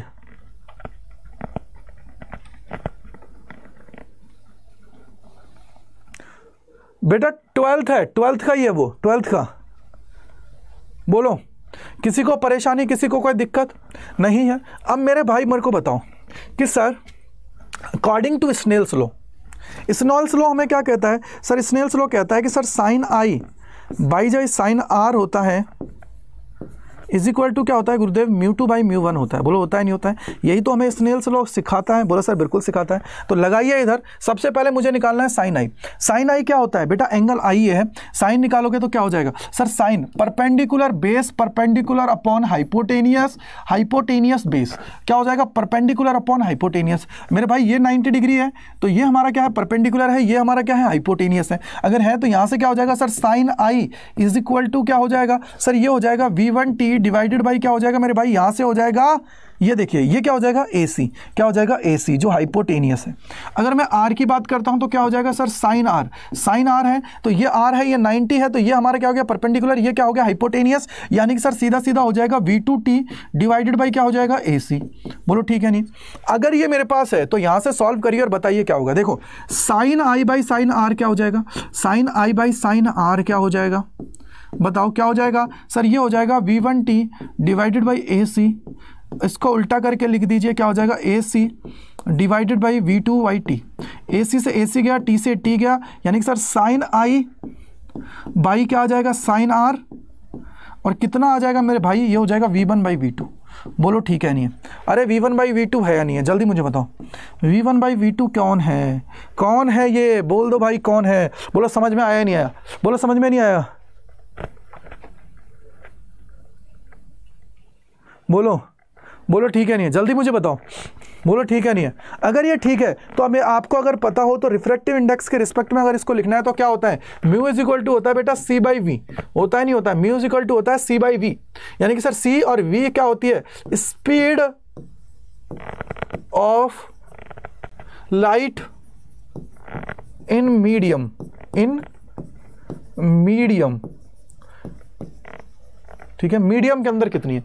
तो यहाँ से v इज़ इक्वल टू क्या हो जाएगा? C बाई म्यू हो जाएगा। और इसको लिखोगे तो v one by is equal to c mu one हो जाएगा। और इसी तरीके से v टू लिखोगे तो क्या हो जाएगा? C म्यू टू इस तरीके से हमें लिखना है। अगर इस तरीके से लिखना है तो सॉल्व कर दो। बोलो सॉल्व करोगे क्या आ जाएगा? सॉल्व करोगे क्या आ जाएगा? Sine i by sine r और v1 की जगह रखोगे क्या आ जाएगा? C by mu one into में क्या हो जाएगा? म्यू टू बाई सी तो सी से सी कैंसिल आउट हो गया। Sine i by sine r is equal to हो जाएगा sir mu two by mu one mu two by mu one बोलो ठीक है, नहीं है। ये हमारा आंसर होता है इसका। ये हमारा आंसर होता है। बोलो, ठीक है, नहीं। इस तरीके से आपको करना है। दोनों का सोल्यूशन सेम रहेगा। दोनों का सोल्यूशन सेम रहेगा, कुछ करने की ज़रूरत नहीं है। अंशुमान, सक्सेना बेटा, आपका जो मैथ्स की क्लास है, वो शाम को सात बजे होगी। शशांक सर आपकी क्लास लेंगे, ठीक है? शशांक सर। समझ में आया नहीं आया ये क्वेश्चन कंफर्म आएगा स्टार मार्क कर लो, कल देखने को मिलेगा, सीधा सीधा। हो सकता है, देखो, एक वर्ड को याद रखना डेंसर टू रेयरर मीडियम बोल रहा है या रेयरर टू डेंसर मिल रहा बोल रहा है, उस चीज़ का ध्यान रखना। कहीं आप लोग यही डेरिवेशन मत करके आना डायग्राम अगर गलत बना दिया तो वो काट देगा। ठीक है? संगीता उपाध्याय हेलो बेटा। वो क्या करेगा, अगर डायग्राम गलत बना के आगे होना तो वो काट देगा। काट देगा मेरे भाई, दिमाग में अच्छे से सेट कर लो। अच्छे से सेट कर लो भाई। बिल्कुल दिमाग में अच्छे से सेट कर लो। ओके बेटा, संगीता उपाध्याय, बहुत बढ़िया यार, बहुत बढ़िया। स्कूल से आ रहे हो तो बहुत अच्छी बात है बेटा। ये जो कंपार्टमेंट के बच्चे हैं, उनके लिए क्लास चल रहा है, ठीक है? और जो मुझसे पूरा फिजिक्स पढ़ना चाहते हैं ट्वेल्थ का कंप्लीट तो वो जाके मेरा कोर्स है, उसको एनरोल कर सकते हैं। कोड दिया हुआ है एस फोर एट फाइव जिसके अंदर पूरा फिजिक्स चैप्टर नंबर वन से chapter number till the end last तक मैं ही पढ़ाने वाला हूँ। और यूट्यूब के ऊपर भी मैं आपको पढ़ाने वाला हूँ। टेंशन बिल्कुल नहीं लीजिए। सुनिए। ये आ गया सबको समझ? अब आ जाओ, मैं सवाल छोड़ के आया था पिछला जो। बोला है, in Young's double slit experiment slit are one m m apart one m m apart slits कितना डिस्टेंस पे हैं? डिस्टेंस कितनी है बेटा? One m m apart one m m and the screen is placed one metre यानी sir D is equal to कितना है बेटा? One metre away from the slits, calculate the fringe widths when light of the wavelength 500 nanometer is used. ठीक है? यानी कि sir lambda की बात है। लैम्डा इज़ इक्वल टू कितना है बेटा? 500 नैनोमीटर्स नैनोमीटर यानी कि sir 10 to the power minus nine और हो जाएगा मीटर अब भाई, हमें क्या पूछा है? हमें क्या बोला है calculate the fringe width fringe width की बात की है। तो बीटा इज़ इक्वल टू क्या होता है? यही हमारी होती है। फ्रिंज विथ फ्रिंज विथ अगर यही फ्रिंज विथ है तो क्या हो जाएगा? Sir lambda D by small d is equal to lambda कितना दे रखा है? Sir 500 hundred into ten to the power minus nine into D की बात है बेटा। डी कितना दे रखा है? वन और मीटर है। Divided by one into ten to the power minus three तो कितना आ जाएगा sir 500 hundred into ten to the power ऊपर जाएगा प्लस थ्री हो जाएगा माइनस सिक्स यानी sir five into ten to the power minus four और क्या लिख सकते हो इसको?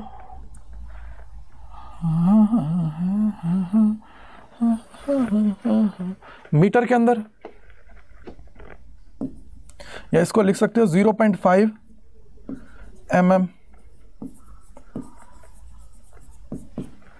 ठीक है? ठीक है? बोलो, ठीक है नहीं है? जल्दी बताओ। बोलो, ठीक है नहीं है?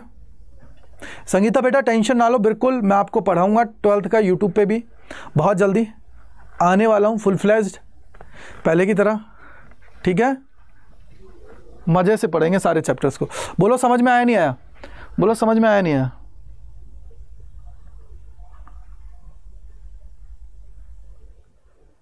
अब एक क्वेश्चन और दिया हुआ है। बोला गया है सेकंड में बोला गया है what should be the width of the each slits in order to obtain ten maxima of the double slit pattern with the central maxima of the single slit pattern यानी यानी कि सर हमें double की बात की है। और मैं बोल रहा हूँ, क्या बोला है? बी नॉट की बात की है। B naught is equal to two lambda D by small d और इज़ इक्वल टू क्या है? Ten times of beta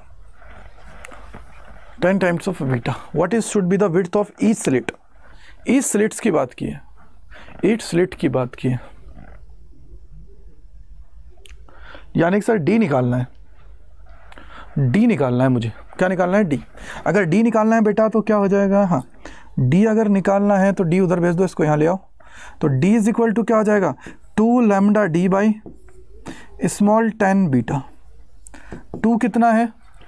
to हो जाएगा इंटू लेमडा कितना है? Five hundred into ten to power minus nine into D. D का मतलब है one divided by ten into five into ten to power minus four तो मेरे भाई देखो, पाँच से इसको कैंसिल आउट करो। पाँच दूनी, पाँच ढाई पचास, दस सौ। ये दस है ten to power minus three हो जाएगा। तो यहाँ से क्या हो जाएगा? Two into ten to power minus seven ऊपर जाएगा ten to power minus plus three तो two into ten to power minus four और मीटर ये हमारे आंसर आ गए। बोल, ठीक है, नहीं, जल्दी मुझे बताओ। ये सेकंड का केस था, ये वन का केस है। बोलो, जल्दी बताओ। जल्दी बताओ जल्दी बताओ जल्दी बताओ। बोलो, समझ आया नहीं आया? अरे, बोल दो।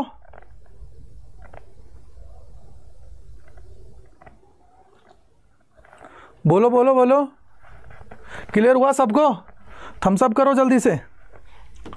जल्दी बताइए। पीयूष सिंह कल मॉर्निंग में भी क्लास होगा। कितने बजे है बेटा आपका पेपर पेपर कितने बजे है? पेपर कितने बजे है? पेपर कितने बजे है आप लोगों का? बोलो।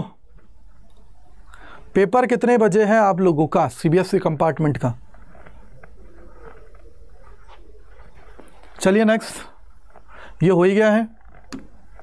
ये बताओ द वर्क फ़ंक्शन की बात की अब सबसे पहले ना आप लोगों को पता होना चाहिए कि सर, ये जो डायग्राम है, ये कैसे बनेगा? यार, हमारा वर्क फ़ंक्शन की बात है। अब एक बार सबसे पहले देखो, आप लोगों ने देखा होगा कि सर, कोई भी मेटल सरफेस होती है। ये मेरी क्या है? मेटल सरफेस क्या है बेटा? मेटल सरफेस है।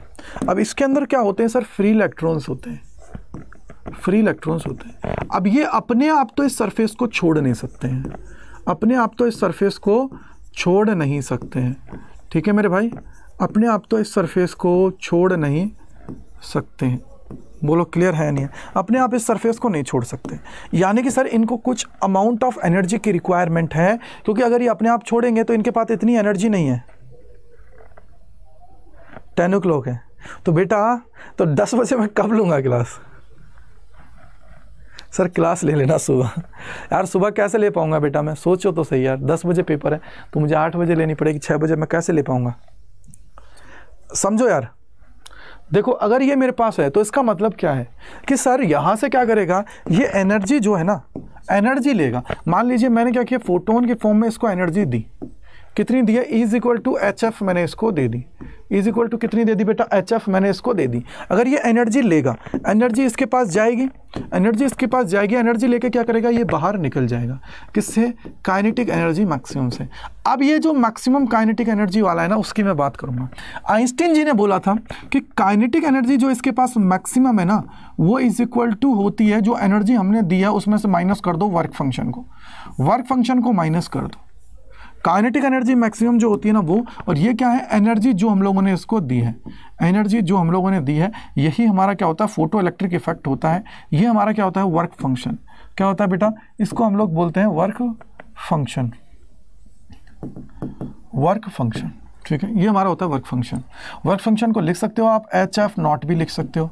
उसी प्रकार से एक काइनेटिक एनर्जी होती है. ये मैक्सिमम जो काइनेटिक एनर्जी वाला है, जो पहुँच रहा है वहाँ पे इलेक्ट्रॉन कहाँ पे? एनोड के ऊपर. वहाँ पे क्या है?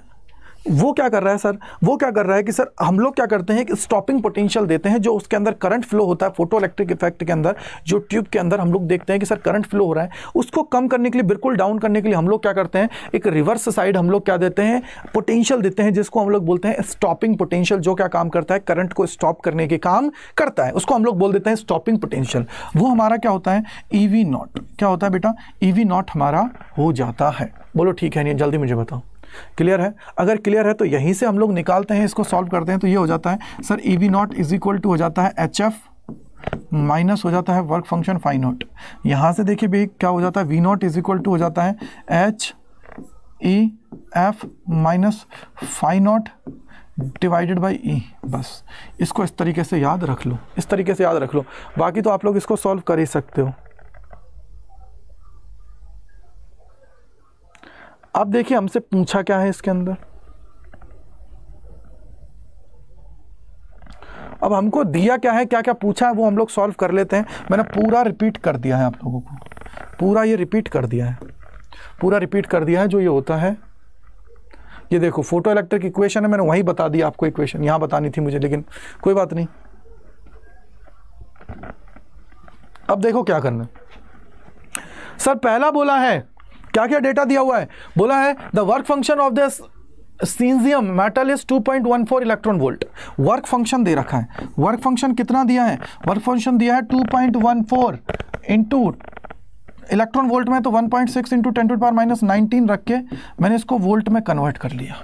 ठीक है?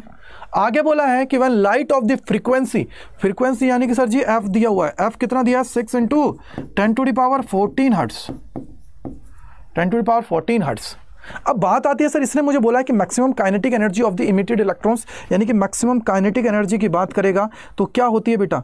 वो होती है एच एच ये देखो ई इज़ इक्वल टू क्या होता है बेटा? एच एफ़ होता है। तो रख दो इसके अंदर, सर एच की वैल्यू क्या है? Six point six three into ten to power minus thirty four into हो जाएगा बेटा वन इंटू वन नहीं है six into ten to power fourteen minus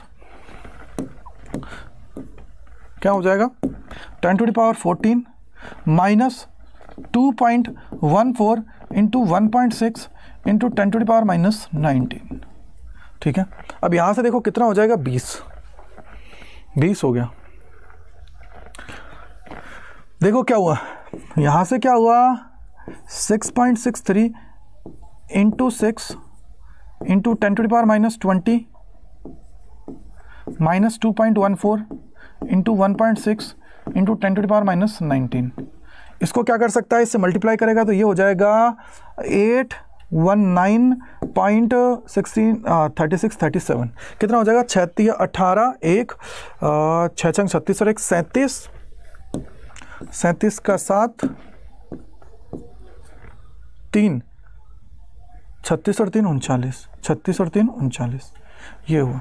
Into ten to power minus twenty two point one four one point six into ten to power minus nineteen इसको solve कर लो। Solve करने पर कितना आ रहा है? कितना आ रहा है? कितना आ रहा है? अरे कितना आ रहा है? कितना आ रहा है? Zero point five five four into ten to power nineteen कितना आ जाएगा? Zero point five five four into ten to power minus nineteen joule अब ये जूल के अंदर है। इसको बदलना है इलेक्ट्रॉन वोल्ट के अंदर। तो क्या करो? डिवाइड कर दो। 0.554 into ten to power minus nineteen divided by one point six into ten to power minus nineteen इससे ये ख़त्म। अब कितना बचा है ये? करो सॉल्व ये आ जाएगा हाफ़ सिक्सटीन पचास, तीन छिंग अड़तालीस, सोलह ती अड़तालीस around zero point three four electron volt कितना आ जाएगा? Zero point three four electron volt ये हो गया पहले का आंसर ये हो गया फ़र्स्ट का आंसर सेकंड का आंसर बोला है कि स्टॉपिंग पोटेंशियल किसकी बात की बेटा? स्टॉपिंग पोटेंशियल की बात की है। अगर स्टॉपिंग पोटेंशियल की बात की है तो काइनेटिक एनर्जी मेरे पास आई गई है तो क्या हो जाएगा? Kinetic energy maximum is equal to हो जाएगा बेटा, क्या हो जाएगा? E V naught e V naught तो V naught is equal to क्या हो जाएगा? इसको रख लो। ये हो जाएगा zero point three four e V naught divided by e तो ई e से ई e गया zero point three four volt volt हमारा आ जाएगा। Zero point three four volt आ जाएगा।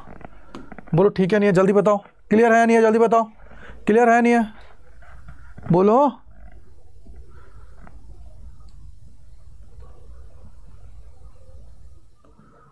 अब हमसे बोला है।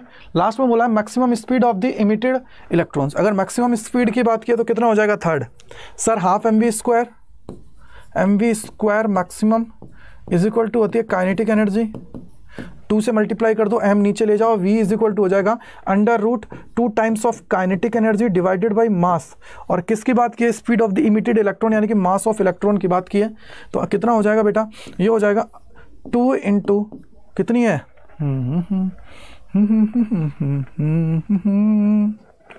एनर्जी की बात की काइनेटिक एनर्जी की बात की। तो zero point five five four into ten to power minus nineteen divided by nine point one into ten to power minus thirty one solve करो, कितना आ गया? हाँ बेटा, अब यस यस यस बिल्कुल बिल्कुल बिल्कुल बिल्कुल। जल्दी बताओ, कितना आ गया है? कितना आ गया है? सॉल्व कर लो और बता दो, कितना आ गया है? सॉल्व करो और कितना आ गया है? यह आ जाएगा three point four eight into ten to power five कितना आ जाएगा? Three point four eight into ten to power five metre per second. यह आंसर आ जाएगा। तो इस तरीके से न्यूमेरिकल करना है। मैंने सारे कॉन्सेप्ट आपको रिवाइज करा दिए हैं। ओके बेटा, चलो देखता हूँ मैं, ठीक है? ओके कल सुबह देखता हूँ मैं, ठीक है? जल्दी मुझे बताओ क्लियर है सबको? क्लियर हो गया सबको? क्लियर है सबको? दस क्वेश्चन हुए हैं। अभी तो और बाकी हैं। जल्दी मुझे बताओ क्लियर हुआ या नहीं हुआ? क्या क्लियर एवरीबडी क्लियर क्लियर है या नहीं है? जल्दी मुझे बताओ। क्या क्लियर है या नहीं है? क्या क्लियर है या नहीं है? क्या क्लियर है या नहीं है? जल्दी से मुझे बता दो। जल्दी से मुझे बता दो। और बेटा, संगीता, अगर आपको कल पढ़ना है, पहले चैप्टर का वन शॉट देखना है तो कल अडर ट्वेंटी फोर सेवन सी के ऊपर मेरा वन शॉट होगा तो वहाँ देख लीजिएगा। वहाँ पहले चैप्टर का वन शॉट मैं कराऊँगा। ठीक है? चलिए ठीक है क्लियर है सबको? चलो नेक्स्ट सवाल। अब नेक्स्ट बोल रहा है कि sir using the photo photon picture of the light show how I क्या है? Einstein's photo electric equation can be establish write two feature of the photo electric effect which can not be explain by the wave theory तो देखो, वही चीज़ है। अभी मैं explain करके आया था, वही चीज़ एक्सप्लेन करनी है वापस से। तो आप लोगों को तो अब तो पता ही लग गया होगा कि सर ये क्या है? यहाँ से देखिए इलेक्ट्रॉन्स की बात है।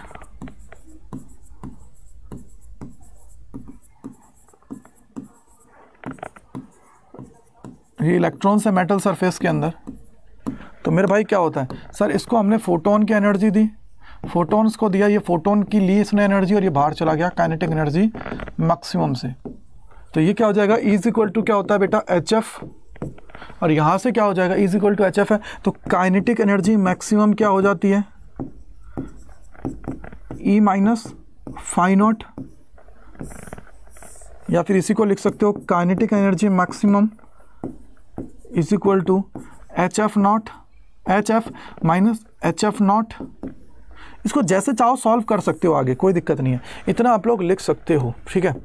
अब मेरे भाई यहाँ से देखो, बोला है कि write two feature of the photo electric effect which can not be explain by the wave theory पहला क्या होता है? सर, ये क्या होता है? इंस्टेनियस प्रोसेस होती है। इंस्टेनियस क्या होती है? प्रोसेस होती है। यानी कि सर, जैसे ही इलेक्ट्रॉन के पास, जैसे ही इलेक्ट्रॉन के पास ये एनर्जी आएगी, छठ से इलेक्ट्रॉन बाहर निकल जाएगा, इसको वेट नहीं करना पड़ेगा। इसको कोई भी वेट नहीं करना पड़ेगा इलेक्ट्रॉन जेट से बाहर निकल जाएगा यस बेटा बिल्कुल बिल्कुल फिर electron form instantaneous ejection of the electrons yes yes instantaneous process होती है बिल्कुल इसमें कोई भी वेट नहीं करना पड़ेगा फटाक से बाहर निकल जाएगा फटाक से क्या करेगा बेटा बाहर निकल जाएगा सेकेंड बताओ सेकेंड बताओ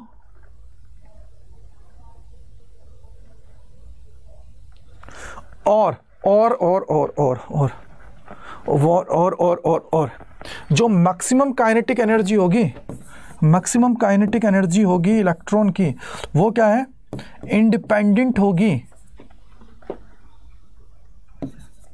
Independent of independent of independent of intensity of light intensity of light intensity of light का उस पर कोई भी इंपैक्ट नहीं आएगा। ठीक है? उसका कोई भी इंपैक्ट नहीं आएगा। Threshold frequency is greater than the frequency then kinetic energy negative yes बेटा, और थर्ड जो है वो ये है कि f naught f should be f naught से बड़ा होना चाहिए। एफ़ जो हमारा है, जो हमारी फ्रीक्वेंसी है वो ग्रेटर देन होना चाहिए एफ़ नॉट से। यानी कि जो थ्रेशोल्ड फ्रीक्वेंसी है उससे ज़्यादा फ्रीक्वेंसी होनी चाहिए। चलिए मेरे भाई, आगे लेते हैं। थर्टीन सेकंड क्वेश्चन है कि determine the distance of closest approach when the alpha particle of the kinetic energy 4.5 mega electron volt strike nucleus of z equal to eighty stop and reverse its direction बेटा, जल्दी से बताइएगा, ये आप लोगों के इस बार भी पूछा गया था। इस बार भी पूछा गया है। तो जेड हमें दे रखा है, कितना दे रखा है? जेड हमें दे रखा है ए ठीक है बेटा? और और और और काइनेटिक एनर्जी कितनी दे रखी है? 4.5 मेगा इलेक्ट्रॉन वोल्ट। फॉर्मूला क्या कहता है? फॉर्मूला क्या कहता है? आर नॉट यानी कि क्लोजेस्ट अप्रोच मैं बोलता हूँ r naught is equal to क्या होता है?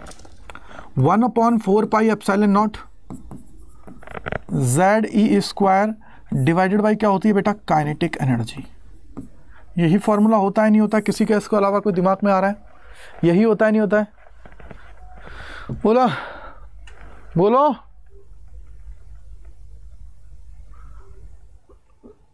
बोलो।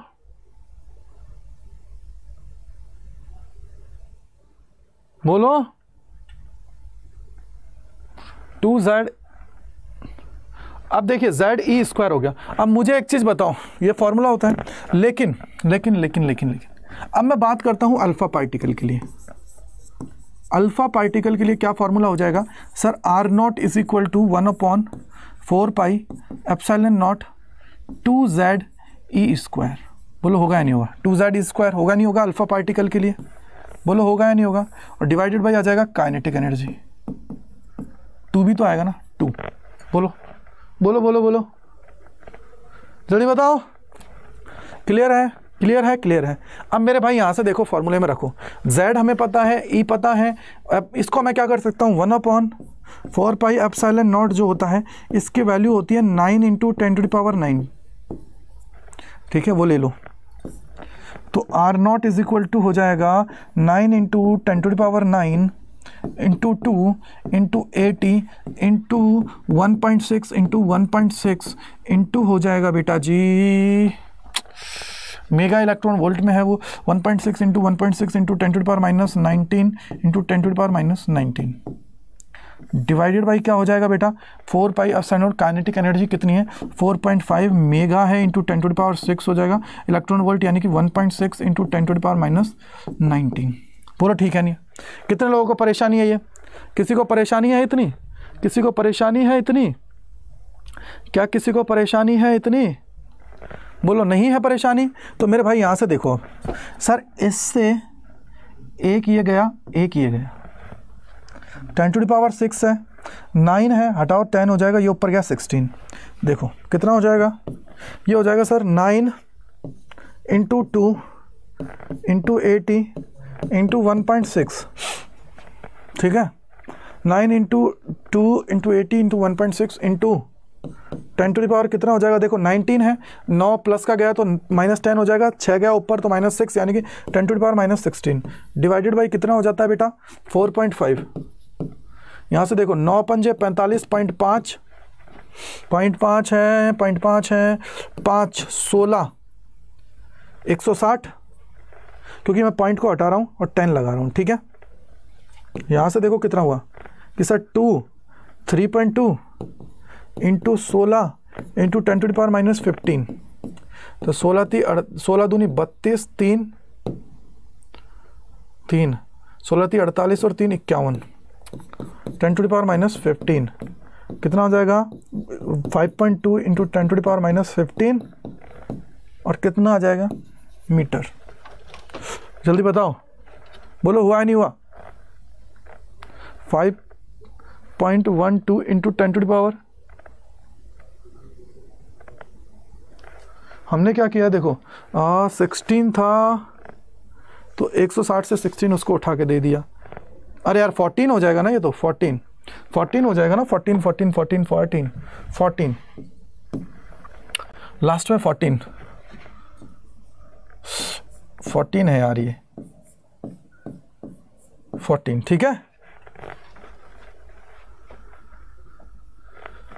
बताओ। क्लियर है? बोलो क्लियर हुआ? कर लोगे? ये सवाल आया था इस बार। कर लोगे? कर लोगे? किसी को परेशानी, किसी को दिक्कत, किसी के पेट में दर्द, कुछ और इशू और यार लाइक वाइक तो कर दीजिए। कर दीजिए भाई लाइक वाइक कर दिया करो यार। चलो, आगे चले। आगे चले। आगे चले आगे चले आगे चले। जल्दी बताओ, चले आगे? चलिए नेक्स्ट ये थर्टीन सवाल बताओ। अरे यार, ये तो कर ही लिया अभी अभी। कर लिया ये तो अभी। ये बताइए what is the nuclear radius of the 125 five F E if the if that of 27 seven A L is 3.6 f fermi अब देखो यार, याद रखना एक चीज़। जब भी हमारे से पूछा जाता है रेडियस अभी अभी मैंने फॉर्मूला रिवाइज कराया था तो रेडियस के लिए एक फार्मूला लिखा था। क्या फॉर्मूला था? आर यार क्या हो रहा है ये बोर्ड में आज r is equal to r naught A to the power one by three ये लिखा था। अगर मैं यहाँ पे देखूँ, मेरे पास दो कंडीशन है। एक तो है F E one twenty seven one twenty five ठीक है। और एक है ए एल ट्वेंटी सेवन और रेडियस ऑफ़ ए एल हमें दे रखी है, कितनी दे रखी है? रेडियस ऑफ़ ए एल हमें दे रखी है three point six fermi three point six fermi F M तो मुझे पूछा गया है कि what is the nuclear radius of इसकी? यानी कि मेरे से पूछा गया है आर एफ़ ई क्या होगा? तो रखिए, सबसे पहले फॉर्मूला बनाइए। तो क्या हो जाएगा? R F E is equal to R naught A का मतलब होता है बेटा ये। ये हमारा क्या होता है? ए आप लोगों को याद होगा, कभी भी एक्स होता है, ये होता है ए ये होता है जेड जेड का मतलब होता है number of photons number of proton या इसी को मैं बोल सकता हूँ atomic number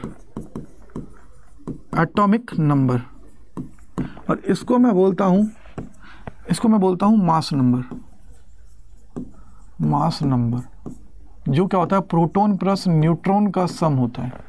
proton plus neutron का क्या होता है? सम हमारा होता है। ठीक है? प्रोटॉन प्लस न्यूट्रॉन का क्या होता है? सम हमारा होता है। अगर ये होता है तो रखो। ए की पावर ए क्या होता है? सर 125 तो 125 वन बाई थ्री ये क्या हो जाएगा? R A L is equal to R naught A का वैल्यू कितना हो जाएगा? Twenty seven one by three ठीक है? अब दोनों का डिवाइड कर दो। क्या हो जाएगा? R by F E divided by R A L is equal to हो जाएगा आर नॉट और इसको क्या लिख सकते हो? अगर 125 है तो 125 को मैं नहीं लिख सकता। 5 की पावर क्यूब और 27 को क्या मैं ये नहीं लिख सकता? 3t पावर क्यूब लिख सकता हूँ नहीं लिख सकता? लिख सकता हूँ या नहीं लिख सकता? लिख सकता हूँ या नहीं लिख सकता? अगर लिख सकता हूँ तो देखो क्या हुआ कि सर फाइव की पावर क्यूब करोगे तो ये कितना हो जाएगा? One by three divided by R naught three की power three one by three तो इससे ये कैंसिल आउट इससे ये कैंसिल आउट यानी कि सर आर नोट से आर नोट कैंसिल आउट ये हो जाएगा five by three five by three तो ये हमारा आ गया है R F E divided by R A L is equal to हो जाता है बेटा फाइव बाई थ्री अब मुझे बताओ आर ए एल की वैल्यू दे रखी है? आर ए एल की वैल्यू दे रखी है थ्री पॉइंट सिक्स तो रख दो R F E is equal to कितना हो जाएगा? सर, ये हो जाएगा five into three point six divided by three और एफ़ एम तीन से इसको काटो one point two five point six यानी sir six point zero F M ये हमारी आ गई है six point zero F M याद रखिएगा। ये हमारा क्या हो गया है? आंसर ये हो गया है answer R is equal to nine point three कहाँ से कर दिया मेरे भाई? अरे नाइन पॉइंट थ्री कहाँ से कर दिया? सिक्स आएगा ना? सिक्स एफ़ एम अरे नाइन पॉइंट थ्री कहाँ से कर दिया बेटा?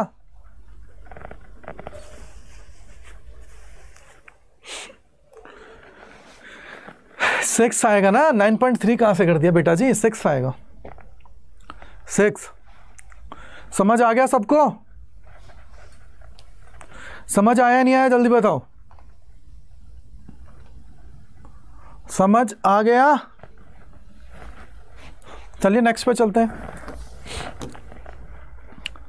नेक्स्ट है ये। Show that the density of the nucleus over a wide range of the nucleus constant independent of the mass number A बताना है हमें कि हमारी जो डेंसिटी है ना उसमें ए कभी नहीं आता है। बस, ये हमसे पूछा इसने और कुछ नहीं पूछा है। तो मेरे भाई, सबसे पहले पता होना चाहिए sir density is equal to क्या होता है? डेंसिटी इज़ इक्वल टू क्या होता है? डेंसिटी इज़ इक्वल टू होता है बेटा मास अपॉन वॉल्यूम डेंसिटी मतलब rho is equal to mass M divided by volume बेटा आर इज़ इक्वल टू क्या होता है? Sir R is equal to होता है R naught A to the power one by three ठीक है? अब मेरे को बताओ मास अगर मास की बात है अगर मेरे पास अगर मेरे पास ए टोटल क्या है बेटा? आ, टोटल ए है उसके अंदर मास नंबर है। तो अगर मुझे पूरा मास चाहिए तो एक का मास एम है तो इसका पूरे का क्या हो जाएगा? एम ए हो जाएगा। हो जाएगा। और अगर मैं वॉल्यूम की बात करता हूँ तो वॉल्यूम कितना होता है sir three by four four by three pi R cube और आर क्यूब है तो ये क्या हो जाएगा सर ये हो जाएगा four by three pi R naught का क्यूब और ये ए हो जाएगा। होगा या नहीं होगा? क्योंकि सर आर की जगह इसको रख दो। आर की जगह इसको रखोगे तो ये हो जाएगा। यानी सर ये हो जाएगा four by three pi R naught का क्यूब और ए। ए से ए कैंसिल आउट कितना हो जाएगा बेटा? Three M by four pi R naught का क्यूब। आर नॉट का क्यूब। अब मुझे एक चीज़ बताओ, क्या इसमें कहीं भी तुम्हें ए दिखा? कहीं भी ए दिखा? नहीं दिखा। अगर ए नहीं दिखा है तो इट मीन्स ये कांस्टेंट इंडिपेंडेंट है। इंडिपेंडेंट है। बोलो, ठीक है?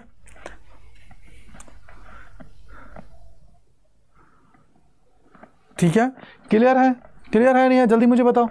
क्लियर है या नहीं है? क्लियर है या नहीं है? क्लियर है या नहीं है? जल्दी से मुझे बताओ क्लियर है या नहीं है?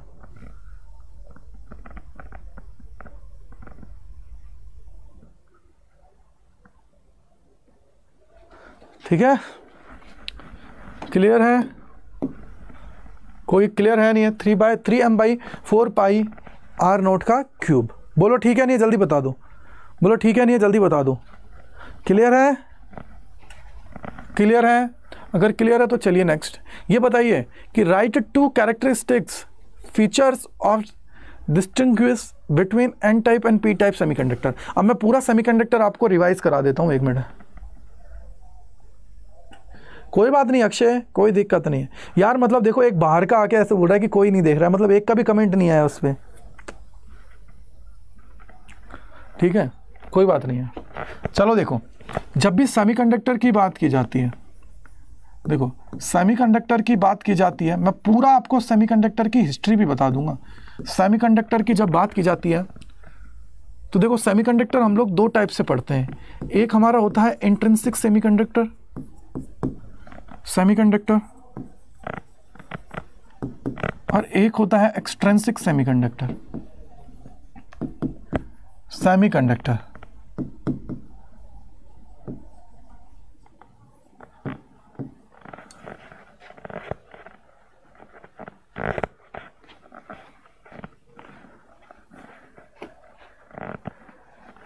ठीक है, अब सबसे पहले देखो इंट्रेंसिक सेमीकंडक्टर होता है ना बेटा? ये हमारा क्या होता है? प्योर सेमीकंडक्टर होता है। यानी कि सर, इसके अंदर मैं कोई भी इंप्योरिटीज ऐड नहीं करता। प्योर सेमीकंडक्टर होता है। प्योर सेमीकंडक्टर और सबसे बड़ी बात पता है क्या है? कैसे? कि सर, सिलिकन है तो इसके आउटर सेल में कितने होते हैं? फोर इलेक्ट्रॉन्स होते हैं। अगर फोर है तो इसको हम लोग क्या करते हैं? हीट करते हैं। हीट करने की वजह से क्या होता है? ये थोड़ी सी देर के लिए इलेक्ट्रॉन यहाँ पे आ जाता है और यहाँ पे क्या हो जाता है? होल क्रिएट हो जाता है। ये प्रोसेस होती है कब? जब हम लोग बात करते हैं प्योर सेमीकंडक्टर की। लेकिन सर, सब जब एक्सट्रेंसिक सेमीकंडक्टर होता है तो इसको हम लोग बोलते हैं इम्प्योर। क्या बोलते हैं बेटा? इम्प्योर यानी कि सर, इसके अंदर हम लोग क्या करते हैं? इम्प्योरिटीज़ को ऐड करते हैं। क्या करते हैं बेटा? इम्प्योरिटीज़ जो होती है ना, उनको ऐड करते हैं। इम्प्योरिटीज़ को क्या करते हैं? एड ऑन करते हैं। ठीक है? इम्प्योरिटीज़ को क्या करते हैं? एड ऑन करते हैं। और जब इम्प्योरिटीज़ को ऐड किया जाता है तो इम्प्योरिटीज़ को हम लोग दो तरीके से ऐड करते हैं। इम्प्योरिटीज़ हमारी क्या होती है बेटा? दो तरीके की होती हैं। एक तो होता है ट्राईवेलेंट एक होती है ट्राईवेलेंट इम्प्योरिटी और एक होती है पेंटावेलेंट क्या होती है बेटा? Pentavalent impurity pentavalent impurity trivalent का मतलब होता है बेटा, जिसके आउटर सेल में कितने होते हैं? थ्री इलेक्ट्रॉन्स होते हैं। जिसके आउटर सेल में थ्री इलेक्ट्रॉन्स होते हैं। यानी कि सर, इस केस में क्या होता है कि मान लीजिए सिलिकन है। सिलिकन के कितने आउटर सेल में कितने हुए सर? फोर इलेक्ट्रॉन्स होते हैं सिलिकन में।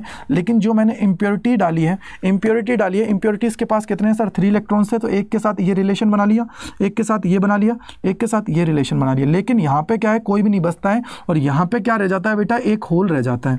और जब कहीं पर होल रहता है ना तो उसको हम लोग बोलते हैं पी टाइप सेमीकंडक्टर क्या बोल देते हैं? P type semiconductor P type semiconductor क्या बोल देते हैं? पी टाइप सेमीकंडक्टर हम लोग बोल देते हैं। ठीक है? और इसके अंदर पी टाइप का मतलब क्या हुआ? अब देखो, यहाँ पे क्या है? पी टाइप सेमीकंडक्टर है तो यहाँ पे होल ज़्यादा होंगे, यानी कि मेजोरिटी चार्ज कैरियर्स कौन होंगे? मेजोरिटी में कौन होंगे? मेजोरिटी में कौन होंगे? वो होंगे सर होल्स होल्स होंगे मेजोरिटी में। ठीक है? और माइनॉरिटी में कौन होंगे? सर माइनॉरिटी में कौन होंगे? वो होंगे इलेक्ट्रॉन्स इलेक्ट्रॉन्स। ठीक है? अब बात आती है, सर, सबसे बड़ी क्या?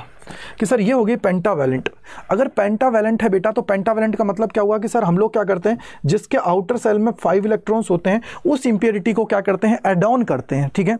उस पेंटावेलेंट का मतलब होता है बेटा, जिसके आउटर सेल में क्या होते हैं फाइव इलेक्ट्रॉन्स होते हैं। जिसके आउटर सेल में क्या होते हैं फाइव इलेक्ट्रॉन्स होते हैं, उनको हम लोग बोलते हैं पेंटावेलेंट इंप्योरिटीज क्या बोलते हैं पेंटावेलेंट ठीक है? अब देखिए क्या हुआ। अगर पेंटावेलेंट है तो इसका मतलब क्या है कि सर, मान लीजिए ये सिलिकन है। सिलिकन में क्या हुआ? ये फोर इलेक्ट्रॉन्स इसके आउटर सेल के अंदर है। आउटर सेल में कितने हैं? फोर हैं। अगर इसके आउटर सेल में फोर हैं तो ये आउटर सेल में कितने हैं? फोर हैं। अगर ये आउटर सेल में फोर हैं तो सर क्या करेंगे? अब यहाँ देखिए, एक इसके साथ रिलेशन बना लेगा। एक इसके साथ रिलेशन बना लेगा। एक इसके साथ रिलेशन बना लेगा। एक इसके साथ रिलेशन बना लेगा। एक इसके साथ रिलेशन बना लेगा। अब बचा एक। एक जो बचा हुआ है, सर, इसको मैं क्या करता हूँ? इसको मैं क्या करता हूँ? एक इलेक्ट्रॉन बच जाता है। अभी एक एक इलेक्ट्रॉन बच जाता है तो यहाँ पे कौन है? एक्स्ट्रा में कौन है? इलेक्ट्रॉन है। एक इलेक्ट्रॉन बच जाता है क्योंकि, सर, इलेक्ट्रॉन चार, पाँच में से चार ही काम आए पाँच बेचारा अकेला रह गया। अगर अकेला रह जाता है तो इस टाइप से जो बनता है, वो होता है एन टाइप सेमी कौन होता है बेटा? एन टाइप सेमी हमारा होता है। एन टाइप सेमीकंडक्टर होता है और एन टाइप सेमीकंडक्टर की बात की जाती है तो इसके अंदर जो मेजोरिटी चार्ज कैरियर्स होते हैं मेजोरिटी में जो चार्ज कैरियर्स होते हैं मेजोरिटी में जो चार्ज कैरियर्स होते हैं वो होते हैं इलेक्ट्रॉन्स और जो माइनॉरिटी में होते हैं वो होते हैं होल्स ये लो अब जितने चाहे इसका आप लोगों से पूछ ले, दोनों में डिफरेंस तो बता देना, ठीक है? बोलो, ठीक है, नहीं है? बोलो, जल्दी बताओ, ठीक है या नहीं है? बोलो, ठीक है या नहीं है? जल्दी बता दो, ठीक है या नहीं है? अब आपसे कुछ भी पूछ ले। अब आप बता पाओगे या नहीं बता पाओगे? मुझे बताओ। अब मेरा नाम ख़राब थोड़ी करोगे? भाई, मेरा नाम ख़राब करोगे नहीं करोगे? बोलो। मेरा नाम ख़राब थोड़ी करोगे भाई?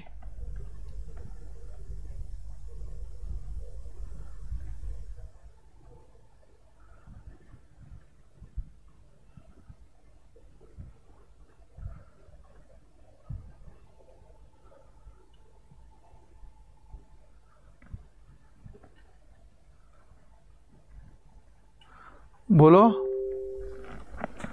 बोलो। अब बेटा सुनो ट्राईवेलेंट है तो इसके पास होल है तो ये क्या कर सकता है? एक्सेप्ट करता है तो इसको हम लोग क्या बोल सकते हैं? एक्सेप्टर इसको हम लोग बोलते हैं एक्सेप्टर इसको कौन बोलेगा? इसको हम लोग क्या बोलेंगे? सर, ये हमारा जो है एन टाइप का, इसको हम लोग बोलेंगे डोनर क्या बोल देंगे? डोनर डोनेट कौन करेगा? जिसके पास होंगे। ठीक है? क्लियर हो गया है सबको? किसी को कोई परेशानी नहीं है? मैंने ऑलमोस्ट आपका पूरा क्लियर करा दिया है। पूरा रिपीट करा दिया है, पूरा। ओके ओके ओके ओके ठीक है। क्लियर है सबको? क्लियर है? ठीक है? क्लियर है क्लियर है क्लियर है। चलिए भाई नेक्स्ट चल रहे हैं। नेक्स्ट है आप देखो what are the energy bands energy bands कौन कौन सकते हैं? राइट एनी ट्यू अब देखो, यहाँ पे एक बात बोलिए इसने चेंज इन टेम्परेचर के बेसिस पे हम लोग कैसे बोलते हैं? तो देखो, आपको पता होना चाहिए, हमारे पास क्या होता है? टेम्परेचर के बेसिस पे हम लोग चीज़ों को देखते हैं, कैसे देखो? टेम्परेचर की बात की जाती है, हमारे पास क्या होते हैं? दो तरीके के टेम्परेचर होते हैं। एक होता है negative temperature coefficient temperature coefficient temperature negative temperature coefficient एक होता है पॉजिटिव टेम्परेचर कोफिशियंट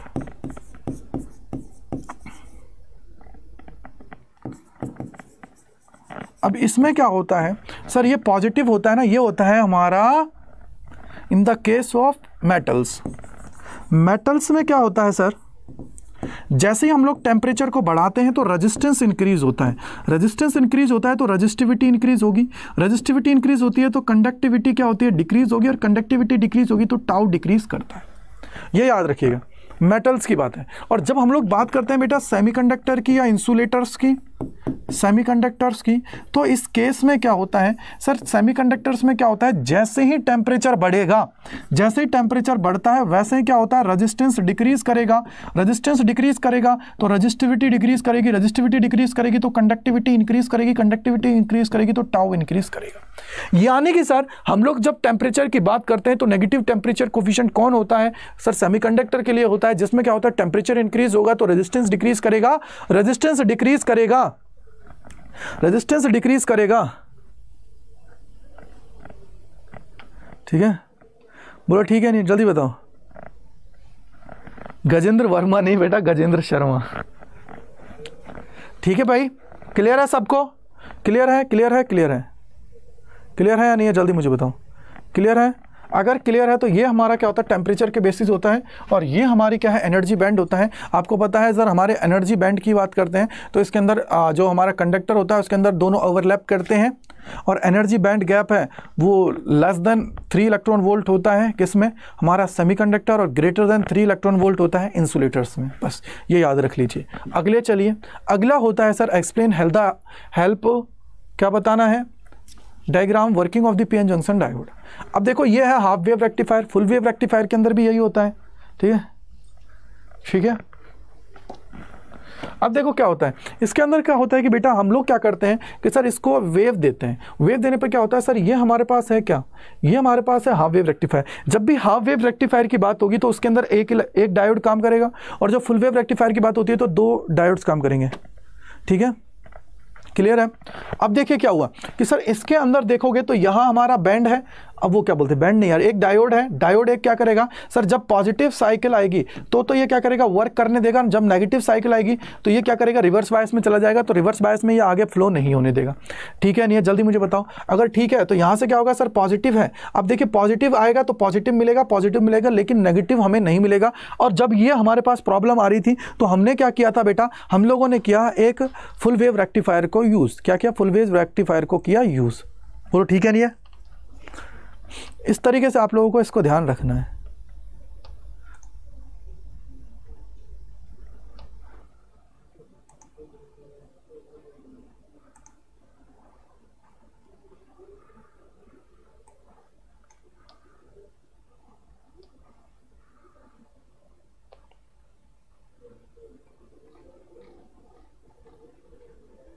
बताओ भाई क्लियर है नहीं है?